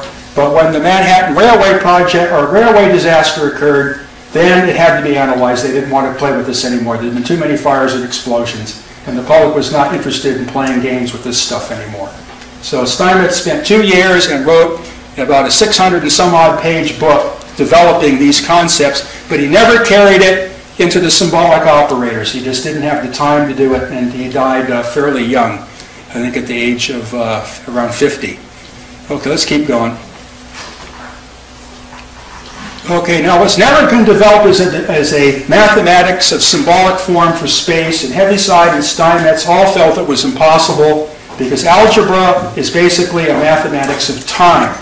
When you try to take algebra into space, it's normally done with uh, the Maxwell Heaviside equations, which are really uh, useless for electrical engineering purposes. So we have to, in order to describe Tesla's electricity, which basically moves at right angles to conventional electricity, we have to come up with a system of space operators that work in a fashion in the way that the time operators did. And as far as I know, I'm the only one that's ever been able to figure this out by working out of the pieces of the people that carried it almost all the way and then died or lost interest or whatever happened. It's just somehow there was the mind blocks in these early people. They could take it so far, but they just couldn't see the final step. Like in Steinmetz's case, he was harassed by Pupin and all the rest of them to take the minus sign out of his inductance equations and replace it with a positive. In the process, it folded the two waves over each other, and it wouldn't convert to energy, and you had to use uh, non-algebraic means to do it. It was that simple. It was just the minus sign and the plus sign being interchanged, and that was enough. But the mind block was there, but you only can take it so far. All these people could only take it so far, but the experimenters like Tesla and Thomson were less interested in that, and they just fooled around and fooled around and used their ideas and created things that worked, but it took Steinmetz and Heaviside to say why it worked and how to calculate it. That was not Tesla's world. Tesla just envisioned the stuff and could build it out of his head. Without Steinmetz, we would have no Tesla. So let's keep going. Let's show this graphically. This is basically is our, our generalized flow of electricity. In this case, a more general transmission structure where the power line only has two wires. This represents the inside of a transformer coil which has thousands of wires. As soon as you get into that situation, the electrical field becomes so complex that no one has ever been able to solve it because no one's been ever, ever able to develop a symbolic algebra for it. This is the symbolic algebra. Let's keep going. So we take that element and we put them in tandem. This represents a transformer winding, where this is the wire at the phase lead, and this is the wire at the neutral lead. Yes, this is how energy flows in the transformer because it's a very complex relationship. Now it's not just a simple A plus JB. Now we have what are called two degrees of freedom or propagation instead of one. And that gives us a fourth order differential equation, which normally can't be described in a spatial reality. But as we saw in the beginning, we had uh, centimeters to the, to the fourth power. Obviously, those dimensions still exist. There is a four-dimensional, in physics terms, type of spatial relationship in electricity rather than three-dimensional. It's not four-dimensional in space-time, it's four-dimensional in space. In physics terms of dimensions. In my terms, it's only one dimension, it's in space. We express it as one dimension in space because we're using the number one to describe all of our process. So let's keep going. So basically, if we take two windings on the transformer, we take two turns, the stuff's usually wound with square material so that the space in between is, is not left void for leakage magnetisms and stuff to swirl around in. So basically, it's bars of copper. So we have a planes here. So we use our same type of mathematics that we use in alternating current. In this case, this is an electromagnetic wave. So the energy is like flowing down the two wires, and these are our basic magnetic forces type of situation. So this vector would represent electromagnetic flow, but we have another vector now which represents a different type of flow. We have two magnetic fields.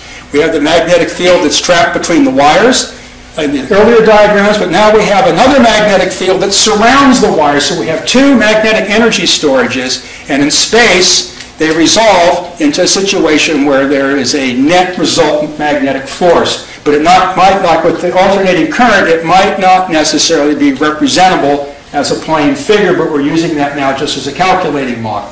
So let's go on to the next one. Keep going. Keep going to get another picture.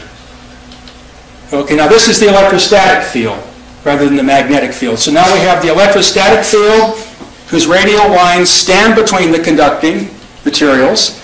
And then we have the one, this would be the one of attraction, but this would be like the one of repulsion, where the lines are going out to other conductors in the system. So now we have two electrostatic fields and two forms of energy storage, and we have a resultant in space of the direction of this field. Okay, let's keep going. So we are starting to explain this now. This was Q, our total electrification, okay, which we know is a product of two inductions. So let's keep going with that and see how we can apply that to space. Okay, so we've gone through all this. We know these relationships. Okay, so we can represent one of them, one quantity, as the electromagnetic quantity, which would be the sine of that angle. Let's keep going. Okay, so we have like an axis here, okay, and we have the dielectric field and the magnetic field, and this is where the two lines cross, as we've seen in the circle diagrams around the conductors. We've blown this up now into an elemental space, which is so small that the lines appear straight. and these are the actual lines themselves, the little ether particles all lined up. Where these cross, in terms of quantum physics, these are what are called photons, okay? And they have specific sizes, and they represent Q, the quantity of electricity dimensionally. So these photons are the electricity, and they're basically, in physics, they're energy multiplied by time, they're not energy. And we saw that if we take the rate of change of the electrification Q, this growth or decay, that represents the energy. So energy can go back to or come out of the electrification without defying the law of conservation of, or law of- continuity of energy. It may defy the law of, of conservation of energy, but not the law of continuity of energy. So we're expressing these things the same way we did with the other operators, but now we're in space, we're stuck to a different set of constraints. Okay, keep going. So we're going to define these as our basis axes, okay, where we have one axis, and then we use an operator to define the other, not the axes, but the directions, and these are revolving around the axes. So we're trying to, to utilize this process. There's no way I can really explain it. I'm just showing this all is uh, uh, demonstration. So each one of these uh, things, we're talking about 10 or 15 talks in here. But I'm just trying to give an overview of electrical theory and science and, and how it moves. Okay, let's keep going. So again, we're we're familiar with how this process works. So we have a quantity of electricity Q. This means that it has a, a direction in space. So we have one quantity, which we'll call the non-electromagnetic quantity, or the Tesla quantity. And then we have the other quantity, which we'll call the electromagnetic quantity, or which is called the Poynting vector, after another scientist whose name was Poynting. Good name if you're into vectors. So keep going. Okay, now energy by physicists is described as mass times velocity squared. Okay, but we don't have mass in electrical equations, but in order to go into physics, then we'll use this as our reference point to bring it to an area where people with physics knowledge can maneuver into these equations using their systems of dimensions rather than electrical engineers' systems of dimensions. So basically, if I have a magnetic field, okay, the electric current associated with that magnetic field of magnetomotive force, in other words, the magnetomotive force producing or related to the magnetic field, if I take that and, and compare it to the amount of energy in the system, then I have this basic simple, like the pressure, temperature, volume relationship that gives me the relations between magnetic force, magnetic induction, and energy. And then we can start to develop other types of relationships to maneuver in these things to get our, our dimensions, but this is beyond the scope of the talk right now. So we have, again, these are basic things. We know that we vary the dielectric uh, with respect to time. That gives us the magnetomotive force. These are our normal energy relationships, so we can continue to move, maneuver around. Let's keep going.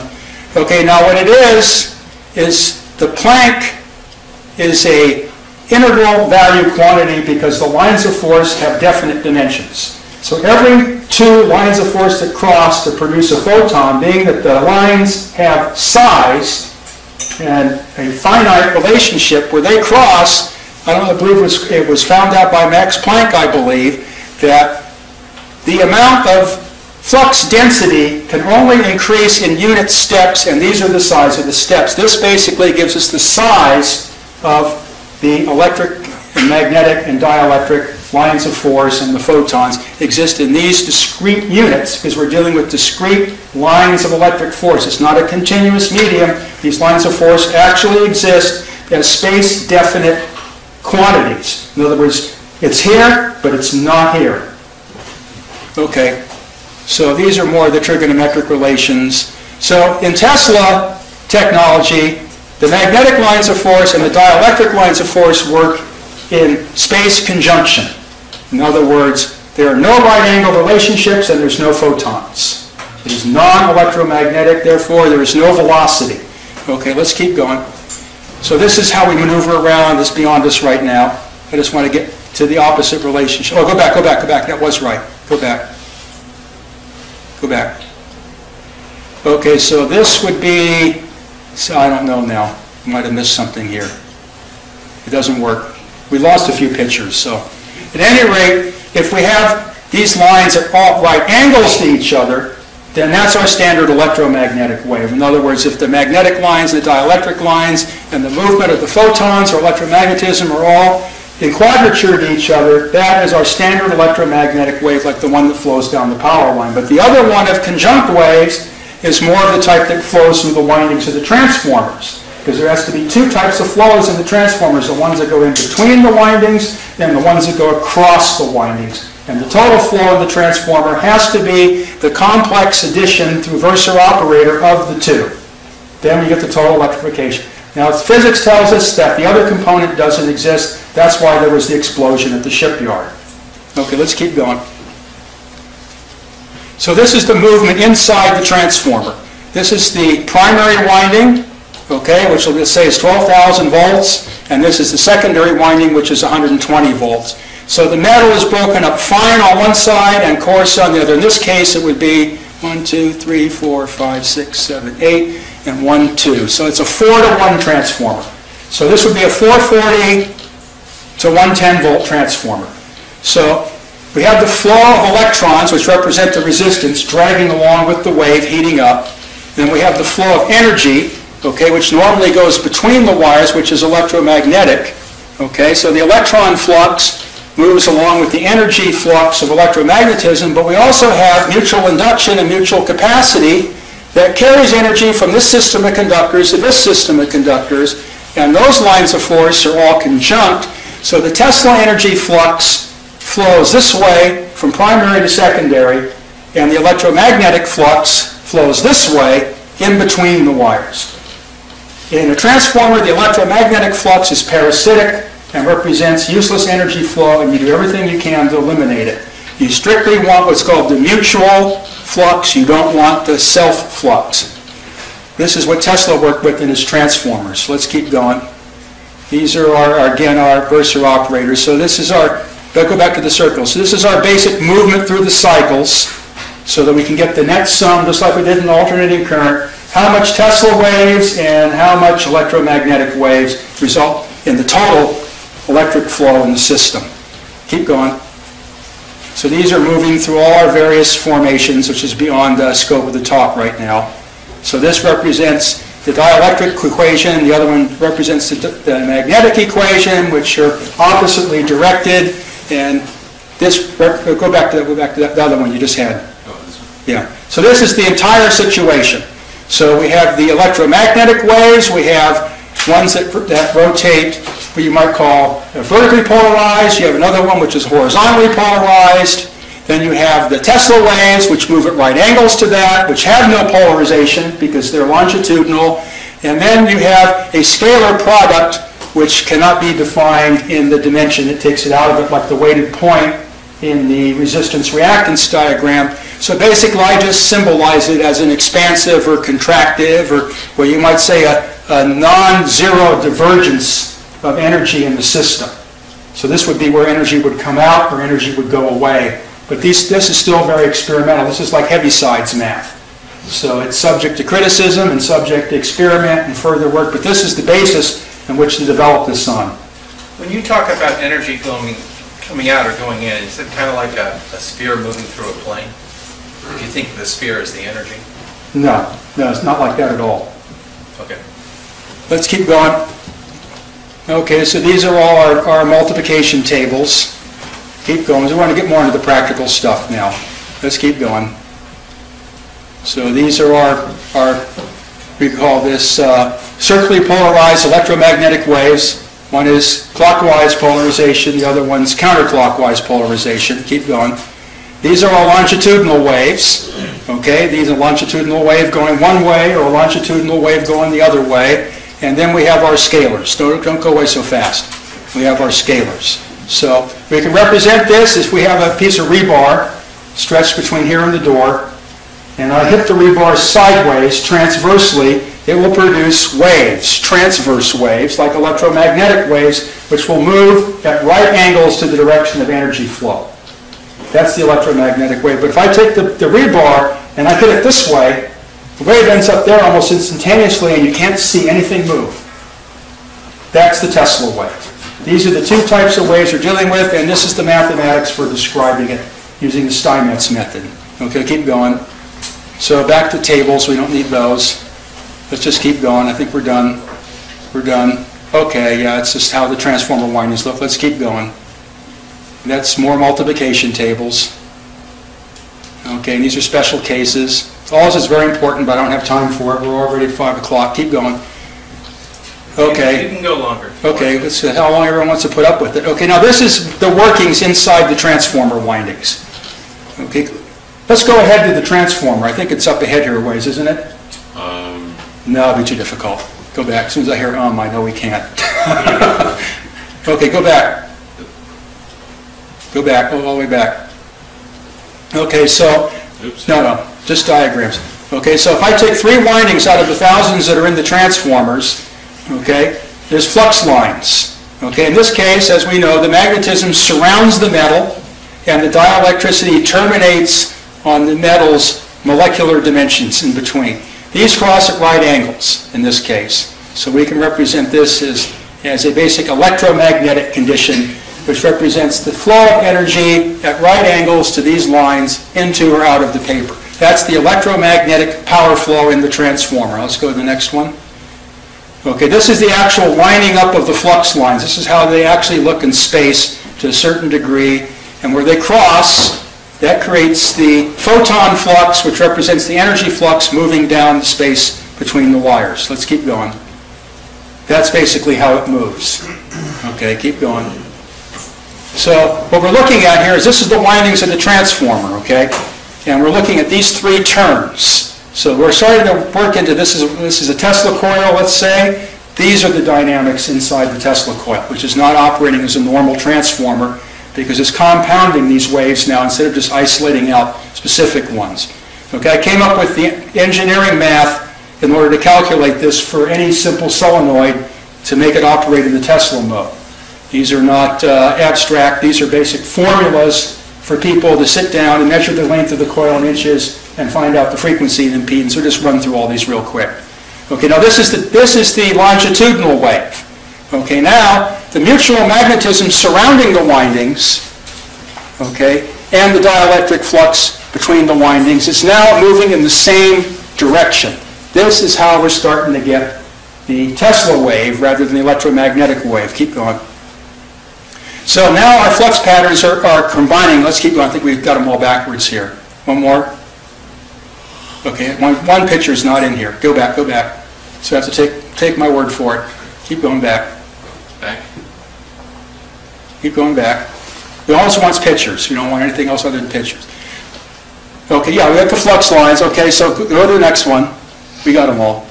So the basic energy now is not in photons, but is in these longitudinal forces moving between the two conductors in a direction carrying from one conductor to the other, where the electromagnetism is at 90 degrees displaced, in other words, one versor rotation in the other direction. So we have our two versor components, hence the A plus JB. Reality can still be applied to this, but in a somewhat more complicated fashion for space, because we're dealing more with multiplication than we are addition.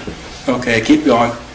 So the energy now can't be blocked by metal, so to speak, anymore. And these longitudinal waves, that's what carries the energy from the primary to the secondary of the transformer, even though the physicists say these waves don't exist. If you do it the way the physicist says, you have the explosion at the shipyard. Okay, let's keep going. These are all the formula for making your own Tesla coils. We don't need any of that. Keep going. So this is basically how the resultant energy moves around the Tesla coil. Okay, we have energy flow A, and we have energy flow uh, B multiplied by operator K that says we've gone from longitudinal to transverse. And if we take our resultant, then that means that the flow of power around the coil will spiral, and therefore the velocity of light will no longer give us the right results because we're no longer flowing in between the wires, but now we have a composite flow so that way, it appears that the velocity of light is being exceeded in designing the system. Even Tesla wasn't fully hip to this because he had so much goop around his coils. It pulled the frequency down and made it appear, but in his Colorado Spring notes, you finally see that he was getting frequencies of oscillation higher than what you would calculate by saying the energy moves around the coil the velocity of light. But he never mentioned it, but it's in his equation. These are all standard formulas, inner formulas. Standard formulas. Okay, keep going. So this is the actual transformer winding. So we can see all these little squares in here. Now substation transformers are wound with stacks of pancake or Tesla coils to minimize the voltage gradients and to keep the neutral induction going. So each one of these is what's called a pancake coil, and they're stacked in series. Okay, now the first attempt to analyze these waves in Steinmetz's time resulted in complete blockage because the differential equations were too difficult to solve. And as Steinmetz said just before the explosion at the shipyard, that the, the Maxwell model does not give us the combination of transverse and longitudinal fluxes, but nets them into one. Okay, now the guy that wrote this book, Bewley, I was lucky to get this in high school, but this was my first exposure to the differential equations and the idea of non-electromagnetic waves, but he didn't get it worked out because he went from Steinmetz back to Maxwell and Heaviside, but nevertheless you get your first taste of the math. Okay, let's keep going. Keep going. So these are our various things we were talking about. Keep going. This is his model of the inside of the transformer, which is not correct, but it starts to develop the theory. Keep going. So these are all the forces and all the geometrics and the dimensions of our thing, and we keep going, and we finally develop into our differential equation. Okay, so this differential equation tells us again, we have, in physics term, we have four dimensions of space. Okay, the problem is, is using the Maxwellian term, this term centimeters cubed, or one of centimeters to the minus third, because it's in the denominator, keeps appearing in the equations. This is the missing element that splits the magnetic fields. And we'll get into this a little later. Let's keep going. So these, you don't, these, how would you like to solve that? I think my stuff's a little simpler, don't you? but this is how you start to really get the physics of the matter down. Okay, keep going. So these are his talk about it, but we're just, this is kind of, so now I've come up with a, this is basically, we're using the Alexanderson antenna Bolinas now as our model to develop the dimensions of this type of energy flow because it had longitudinal as well as transverse wave propagation, which were phased in such a manner that there was no velocity of propagation whatsoever. It was infinite or undefined. So the entire antenna, even though it was 3,000 feet long, the voltage was in the same phase at one end to the other, so the whole antenna would move in unison instead of Marconi's, where the energy had to go back and forth and didn't engage in the radio wave, but just had all this bouncy bouncy that caused you know heavy voltages and currents that did nothing. Alexanderson eliminated the electromagnetic wave and kept the longitudinal because you wanted to transmit out into space, not from end to end of the antenna. So a very significant invention, and the implications are stunning. Okay, keep going. We want to go to the math. Okay, so we're going to take this circuit representation as an analog computer to do calculations on this circuit represents transverse electromagnetic power flow where the lines of force are at right angles to the flow of power. This is the inductance of the space between the wires. This is the capacitance of the space between the wires. These are two wires like the ones we showed on the telephone pole. Okay, let's keep going. Now we have an inverse relationship. This is a longitudinal or a Tesla type of wave. This is like between the transformer. We have the mutual magnetism between the two windings, primary and secondary, and the mutual capacity between the two windings. And now the energy is being carried where this way would be the electromagnetic. Go back to the previous one. Okay? See the same physical relationship. Okay, now go back to the next one. It's the same thing but turned 90 degrees. This is where the versor operators come in. These are the same coils and capacitors. This is an analog computer that I built. Uh, Charles saw these down in the desert. This is how I, I do my calculations with analog computers because they're real. I can put a voltmeter on it and I can get shocked off of it. Okay, keep going. So now we're combining these things into what I call concatenated where one network is compounded into another network of a different form, and we're taking the longitudinal and transverse and mixing them together. What's going off on us now? It's Flickering conspiring. a little bit. The, the machine, the computer goes good. Okay. Fine, all right. Next. Okay, let's keep going. Okay, now this one here represents the power flow in a Tesla coil. We call this a a shunt concatenated transmission network. Okay, keep going. Now this represents the system of the Bolinas transmitting antenna, where part of that was compensated out by the opposite network. In other words, the transverse and longitudinal were phased with each other to cancel each other out. This is how the antenna in Bolinas was connected. Okay, keep going. So this is our test setup. Here's our experimental network, which consists 10 of these circuit elements hooked in series to make a transmission line or a transformer coil. Each one of these previous diagrams you saw was like one turn or one pair of wires, and then we connect them together to get our total line. So that's represented by this box where Z represents the impedance and Y represents the admittance, which we went back to earlier, which is our basic ratios of, of magnetism to dielectricity. And the product of those two gives us our speed of propagation or velocities or time lag or whatever differential function we're dealing with. In other words, what dimension are we changing in? Are we changing in space? Are we changing in time? This gives us that factor. This gives us that gamma to the base and to the power that we saw earlier in the AC equations. Okay, let's keep going. Okay, now this is the response of the networks. Is there any way we can stop this thing from flashing at us? Or is it, like everything else, is it digitally out of control? Pretty much. So color wavelength side is out of any screen. So that's why I really encourage the complete dumping of all of this digital technology. Like I said, the machine's still firing, that's, that's the whole explanation. They know you're an analogic. As soon as I walk away. No, it's nano. It's what's called nano nemesis. It's built into all digital technology. It's deliberate. It's a Trojan horse. Try the laser pointer again, third time's luck on that. Well, I guess we have to live with it. Now, if you push any more buttons, it's over and over, with George. It's, it's tempting us to do that, okay? So let Lenny play with this, we'll just uh, hate her for it. Okay, so we start to measure the, the bandwidths of these networks. We find that the normal transverse network, like a telephone line, okay, has what's called a low-pass condition. In other words, if we increase the frequency, we get to a certain point where the line will no longer pass the frequencies. It will only go so far, and then it will cut off. But in the transformer or longitudinal type waves, it's the other way around.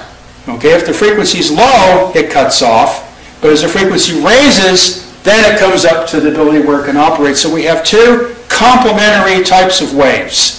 We have one which we call high pass, in other words, the highs are passed and the lows are cut, and we have one that's low pass where the lows go through and the highs are cut. This is, is, is standard uh, electronics technician terminology. Okay, let's go to the next one.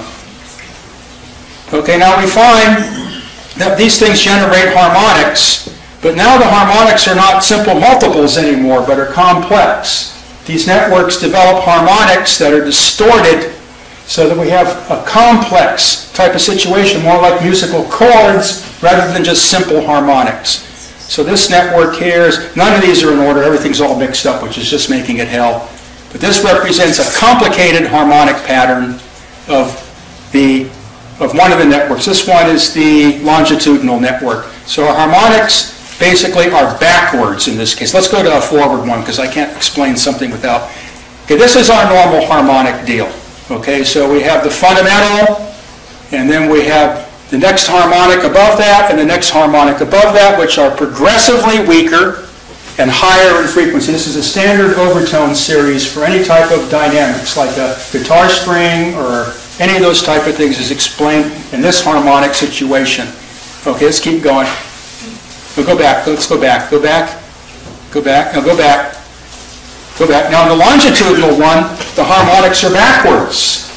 So instead of the third harmonic being three times the frequency, the third harmonic is one-third the frequency. Now this is something completely unprecedented in electrical network theory, is a backwards harmonic slope.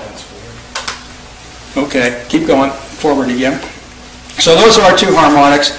So this basically then, now, now we're starting to, uh, this is our, our bandpass flows. So let's just go beyond all this. I just wanted to show the two harmonics. Keep going. Okay, now this is the oscillatory discharge of these waves in a Tesla coil configuration, which is basically the frequency becomes slower as the energy exchange continues. Unlike the simple coil and capacitor where we're locked into a certain frequency, now what happens is we have a chirp instead of a whistle. The frequency goes down as the energy goes down. These are the type of signals you find bouncing around inside the Earth if you have the antennas to pick them up. Okay, keep going. Now this is the Alexanderson network antenna in Bolinas on an analog basis. The energy readjustment is very complex here and fights itself. So it's much more difficult to tune these type of networks than it is the Tesla network, which tends to become want to become more cyclic. So you can see the waves are the waves are, are fighting, but it's the same thing. The frequency is tending to go down as we see as we measure the time between the crests and troughs, they get progressively longer and longer. This was drawn off of an oscilloscope. Both of these were drawn off of an oscilloscope. Okay, go ahead. So these are the bandpass characteristics of the various networks. So we can see we have frequency complications here. We don't have just like one frequency or harmonics. We have all these various frequency relationships like sidebands. And there's a certain type of bandpass condition here where the network becomes completely transparent or scalar and that would be the point in which you would have no propagation velocity, but it would be uniform. But it's very difficult to achieve that balance, and it's kind of beyond the scope of the discussion now. Okay, now this is another spectral plot of one of these networks in oscillation. So you can see now the harmonics, and they make these things very well suited for uh, musical instruments because now you can produce these complex tones. Okay, keep going. I'm not ready for anything yet. Please don't disturb me. Okay. Keep going. Keep going. Okay, so we're using this now as our most generalized network. Right, This is our analog computer. This represents one element, or one centimeter of length down the Alexanderson antenna. Okay, keep going. So this gives us the capacitance, okay, in farads per centimeter, but now we have a longitudinal component, which is the inverse capacitance, or per farads per centimeter. Okay, now we have our normal inductance L, okay, which is in henries per centimeter down the line, but now we have a new dimensional relationship, which is the mutual induction, like between the transformer windings, in per henry per centimeter down the wire. So now we have two inductions in a spatial relationship, and we have two inductions in a counterspatial relationship. We no longer have a simple double energy transient like the car coming to a stop and reversing. Now we can take the situation where not only the car moves forwards and backwards, but if you push down on it, the springs absorb the energy and push the car back up. So now we have the car bouncing this way and we have the car bouncing this way. So now we have a complex energy interchange between four poles rather than two poles of energy coefficients, and it, it results in a mathematical situation that can't be calculated except by using the Steinmetz. Okay, so this is these are the standard uh, dimensional representations that are used by electrical engineering. So capacitance is given farads per centimeter is given in these dimensions. In other words, I have time squared in the numerator and I got length cubed in the denominator. So the capacitance in farads per centimeter is second squareds per centimeter cubed. These are the established by the British Association and thereafter the dimensions that we call capacitance. Okay, it's inverse, okay, where this is, is considered the compliance of the electric field. This is considered the elasticity of the electrical field, which is the inverse of capacitance the mutual or the Tesla component. In this case, if I take it on a per centimeter basis, it gives me centimeters per second squared. So the distributed mutual capacitance, so to speak, is in centimeters per second squared. The transverse or electromagnetic is in second squared. It's basic, simple, and same thing with inductance. Henries per centimeter is centimeters. And the mutual inductance, is, remember we saw this in the Bewley equations, is 1 over centimeters cubed. This is the missing link. This is what took me 20 years to figure out. This is the missing link, and it's per centimeters cubed. Now let's turn these into space-time waves. Right now our topic is space-time. Okay, this is a little clearer representation here. Okay, keep going. So now we start to combine these things to, to develop our differential relationships, which is beyond our talk. Okay, and this is kind of how they look. We can't get into this right now. Okay, keep going. We're, we're arriving at something here. Okay, so now, no, go back, go back. So this gives us two waves now. If we take our standard electromagnetic wave, LC, which we've seen in the, in the past in this presentation, okay, that gives us time squared divided by length squared per second squared per centimeter squared, which equals 1 over velocity squared, which is 1 over the speed of light squared. So the conjugate relationship or the denial duality of these two fields produces this velocity of light ratio. So whatever the velocity of light does in this place, this inductance and capacitance of the ether will sum up into that relationship and basically give us the inverse of velocity. In other words, we have miles, we have, instead of miles per hour, we have hours per mile. We just turned it upside down because that's the way it works out.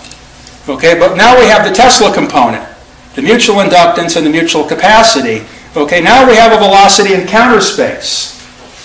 So now the dimensions of length are connected to the dimensions of time as a product, which of course can't be. So basically, our length now is, is counter space. So what we have, where the, where the speed of light was upside down, we're also upside down in this, but that's just the way that the equations work. You can't get around it.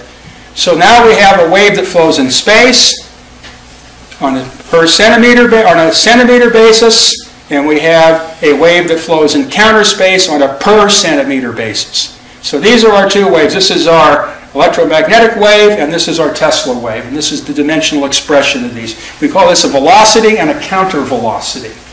And the sum of them two will annihilate the velocity and give you a situation that has space scalar and there's no variation, infinite velocity. Actually, the power companies use this. I don't have time to get into the details. Okay, let's keep going. Now we also have a different type of wave where this is the distribution of the two electrostatic fields. There's no time variation because their energy is in the same type. So basically, it just varies on a per centimeter basis that goes down the line. It's a curve that just gets weaker and weaker and weaker, or stronger and stronger and stronger. And it's the same thing with the magnetic. So basically, if we abolish the Heaviside Maxwell concept completely and go to the J.J. Thomson concept, which and Steinmetz came to a similar conclusion, there is no electromagnetic waves and there aren't any of these other waves. What it is, is you have an electrostatic field propagating down the line, you have a magnetic field propagating down the line, and it's only the apparent superposition of them that gives you the velocity. That's why you can't see the stars or the sun in outer space, okay? Because the fields are not co-joined. The reason why the wire exists in the electrical system is so the magnetic field can exchange itself with the dielectric field. It's there strictly as a translational type of item. It's not there to conduct the electricity, it's there to translate the electricity. Okay, let's keep going. So then we have our Heaviside relationships and frequencies, and I think we've gone beyond all this now. If anybody's got the steam, we can go one more step or we can close it here because the important mathematical concepts, but I have a more uh, a readable explanation. But I think really we should cut it off at this point. Okay. So I, this is the point I wanted to get at.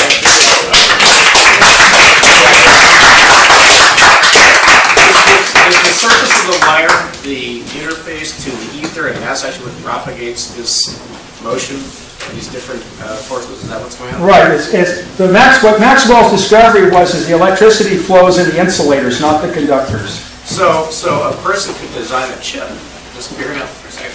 Well, the, the problem is, just hold on. Right. A person could design a chip, theoretically, with an extremely high surface area to volume ratio, many, many, many layers of like nano thin foils. Right. To maximize this interface, would that be a workable way to look at your model?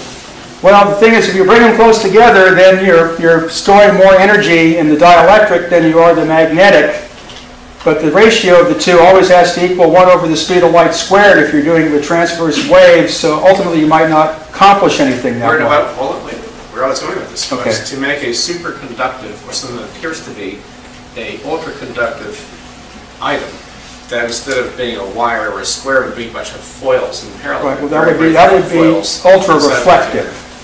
When you say, when you say superconductor, that means it's a perfect obstructor. The electricity can't get through the metal in its transverse form. Make- Making a nanoscale perfect uh, surface is no longer a manufacturing problem. It's Right. like that. So that's why I was offering the thought. Yeah. Well, if you, now if you form that into the shape of a transformer winding, where you have uh, divisions in two axes, in other words, rather than one, you have divisions in two axes or three axes, then you can start to move these complex waves through the system. But that's basically, you're just building a transformer of very tiny dimensions. Well, or you could build a replicatable structure on a larger scale. Yeah. And if you were to approach a manufacturer of this kind of thing that has this capacity, you might approach it that idea. Well, you know, like patterns down. Yeah, and that's kind of out of my area. I got, unfortunately, I didn't have time to get into the last part of this. It shows how I use this to receive these waves out of other dimensions, so to speak. You just have to come back again Yeah. Next month. Well, I was, I was trying to give you like a practical sense of like how, like a big company might say, gee, we could use this for something, that might be really. Well, it's basically, it's the power industry. The power industry already does this, okay? Here's the basic problem. This is where I'll close it, because I gotta take a break and drink some juice and, uh, and maybe take a few more questions. Power industry has a problem, okay? LA Water and Power generates its electricity in Las Vegas because they don't care if they puke out the air in Las Vegas, because LA's, a- Las Vegas is a place to puke. So what they do is they have this giant power line that carries it from Las Vegas to Los Angeles which seems fine and dandy. Uh, The resistance of the line obviously is small, okay? But the problem is, is the power wants to flow at the speed of light, okay? Now, here's the condition that occurs. If the generators in Las Vegas are attempted to be stayed, stay synchronous with the generators in Los Angeles, the problem is, is it takes a certain amount of time for the electromagnetic wave to propagate from Los Angeles, or from Las Vegas to Los Angeles. So now, if the generator in Las Vegas is sitting at top dead center, so to speak, on one cylinder of an engine, or however you want to represent the phases, the one in Los Angeles has fallen behind by about an eighth of a cycle. Okay, now if you get to the situation where the line is one quarter wavelength long, a wavelength at 60 cycles is 2,880 miles. So it's kind of hard to do, but there are some power lines that are very long. So here's what has to be done. If the line gets longer, the generator at the other end becomes more and more, it's in step at what it thinks happening because the retarded potential. When they become 90 degrees apart, they can no longer stay synchronized and you get a big blast. So here's what the power company Unless does. you have quantum entanglement with the two Well, whatever, we don't, that doesn't exist in this talk. That's denied, okay? So here's how they do it. They don't involve themselves in quantum mysticism because you can't make anything out of it that works in the electrical world. They use a very simple thing. They do what we were just talking about here. What they do is they take every 100 miles on the power line and put a capacitor in series with the power line. Now that capacitance in series with the power line sets the time angle back every time the wave is going through a capacitor station. These capacitors are gigantic. It would take 10 of these rooms to hold them. What this does is then it takes no time for the wave to go from Las Vegas to Los Angeles, and the two generators can stay in synchronism. What the power company done has made the propagation velocity through the Alexanderson and Tesla principles infinite. So there's no time delay of energy propagation. Now this is a practical example utilized by the utility companies to bring the two spatially separated items into one unit dimension in the dimension of time by neutralizing space. This is one way, this is how Tesla would transmit. He wouldn't transmit by transmitting the energy. He worked on the principle that the energy is brought into one by a mutual relationship where there is no velocity. In counter space, it's a counter velocity. The farther apart you are in counter space, the closer you are together. That's why these planets can have such a profound influence on the sun, which is going on right now. There's a planet, big planetary alignment, and the sunspot number has been on the bottom now for, you know, it's 22-year cycles at that zero dead point. point, and this will be the point in the next month which will start to rise and create all the usual havocs it does to the radio and power industry and and the usual social insanities and all the things that go along with it. So I have to end there. We're we're witnessing the insanity part now. What's that? So we're witnessing the insanity part now, as a matter. Yeah, well, unfortunately, it's also cumulative. We have a huge capacity.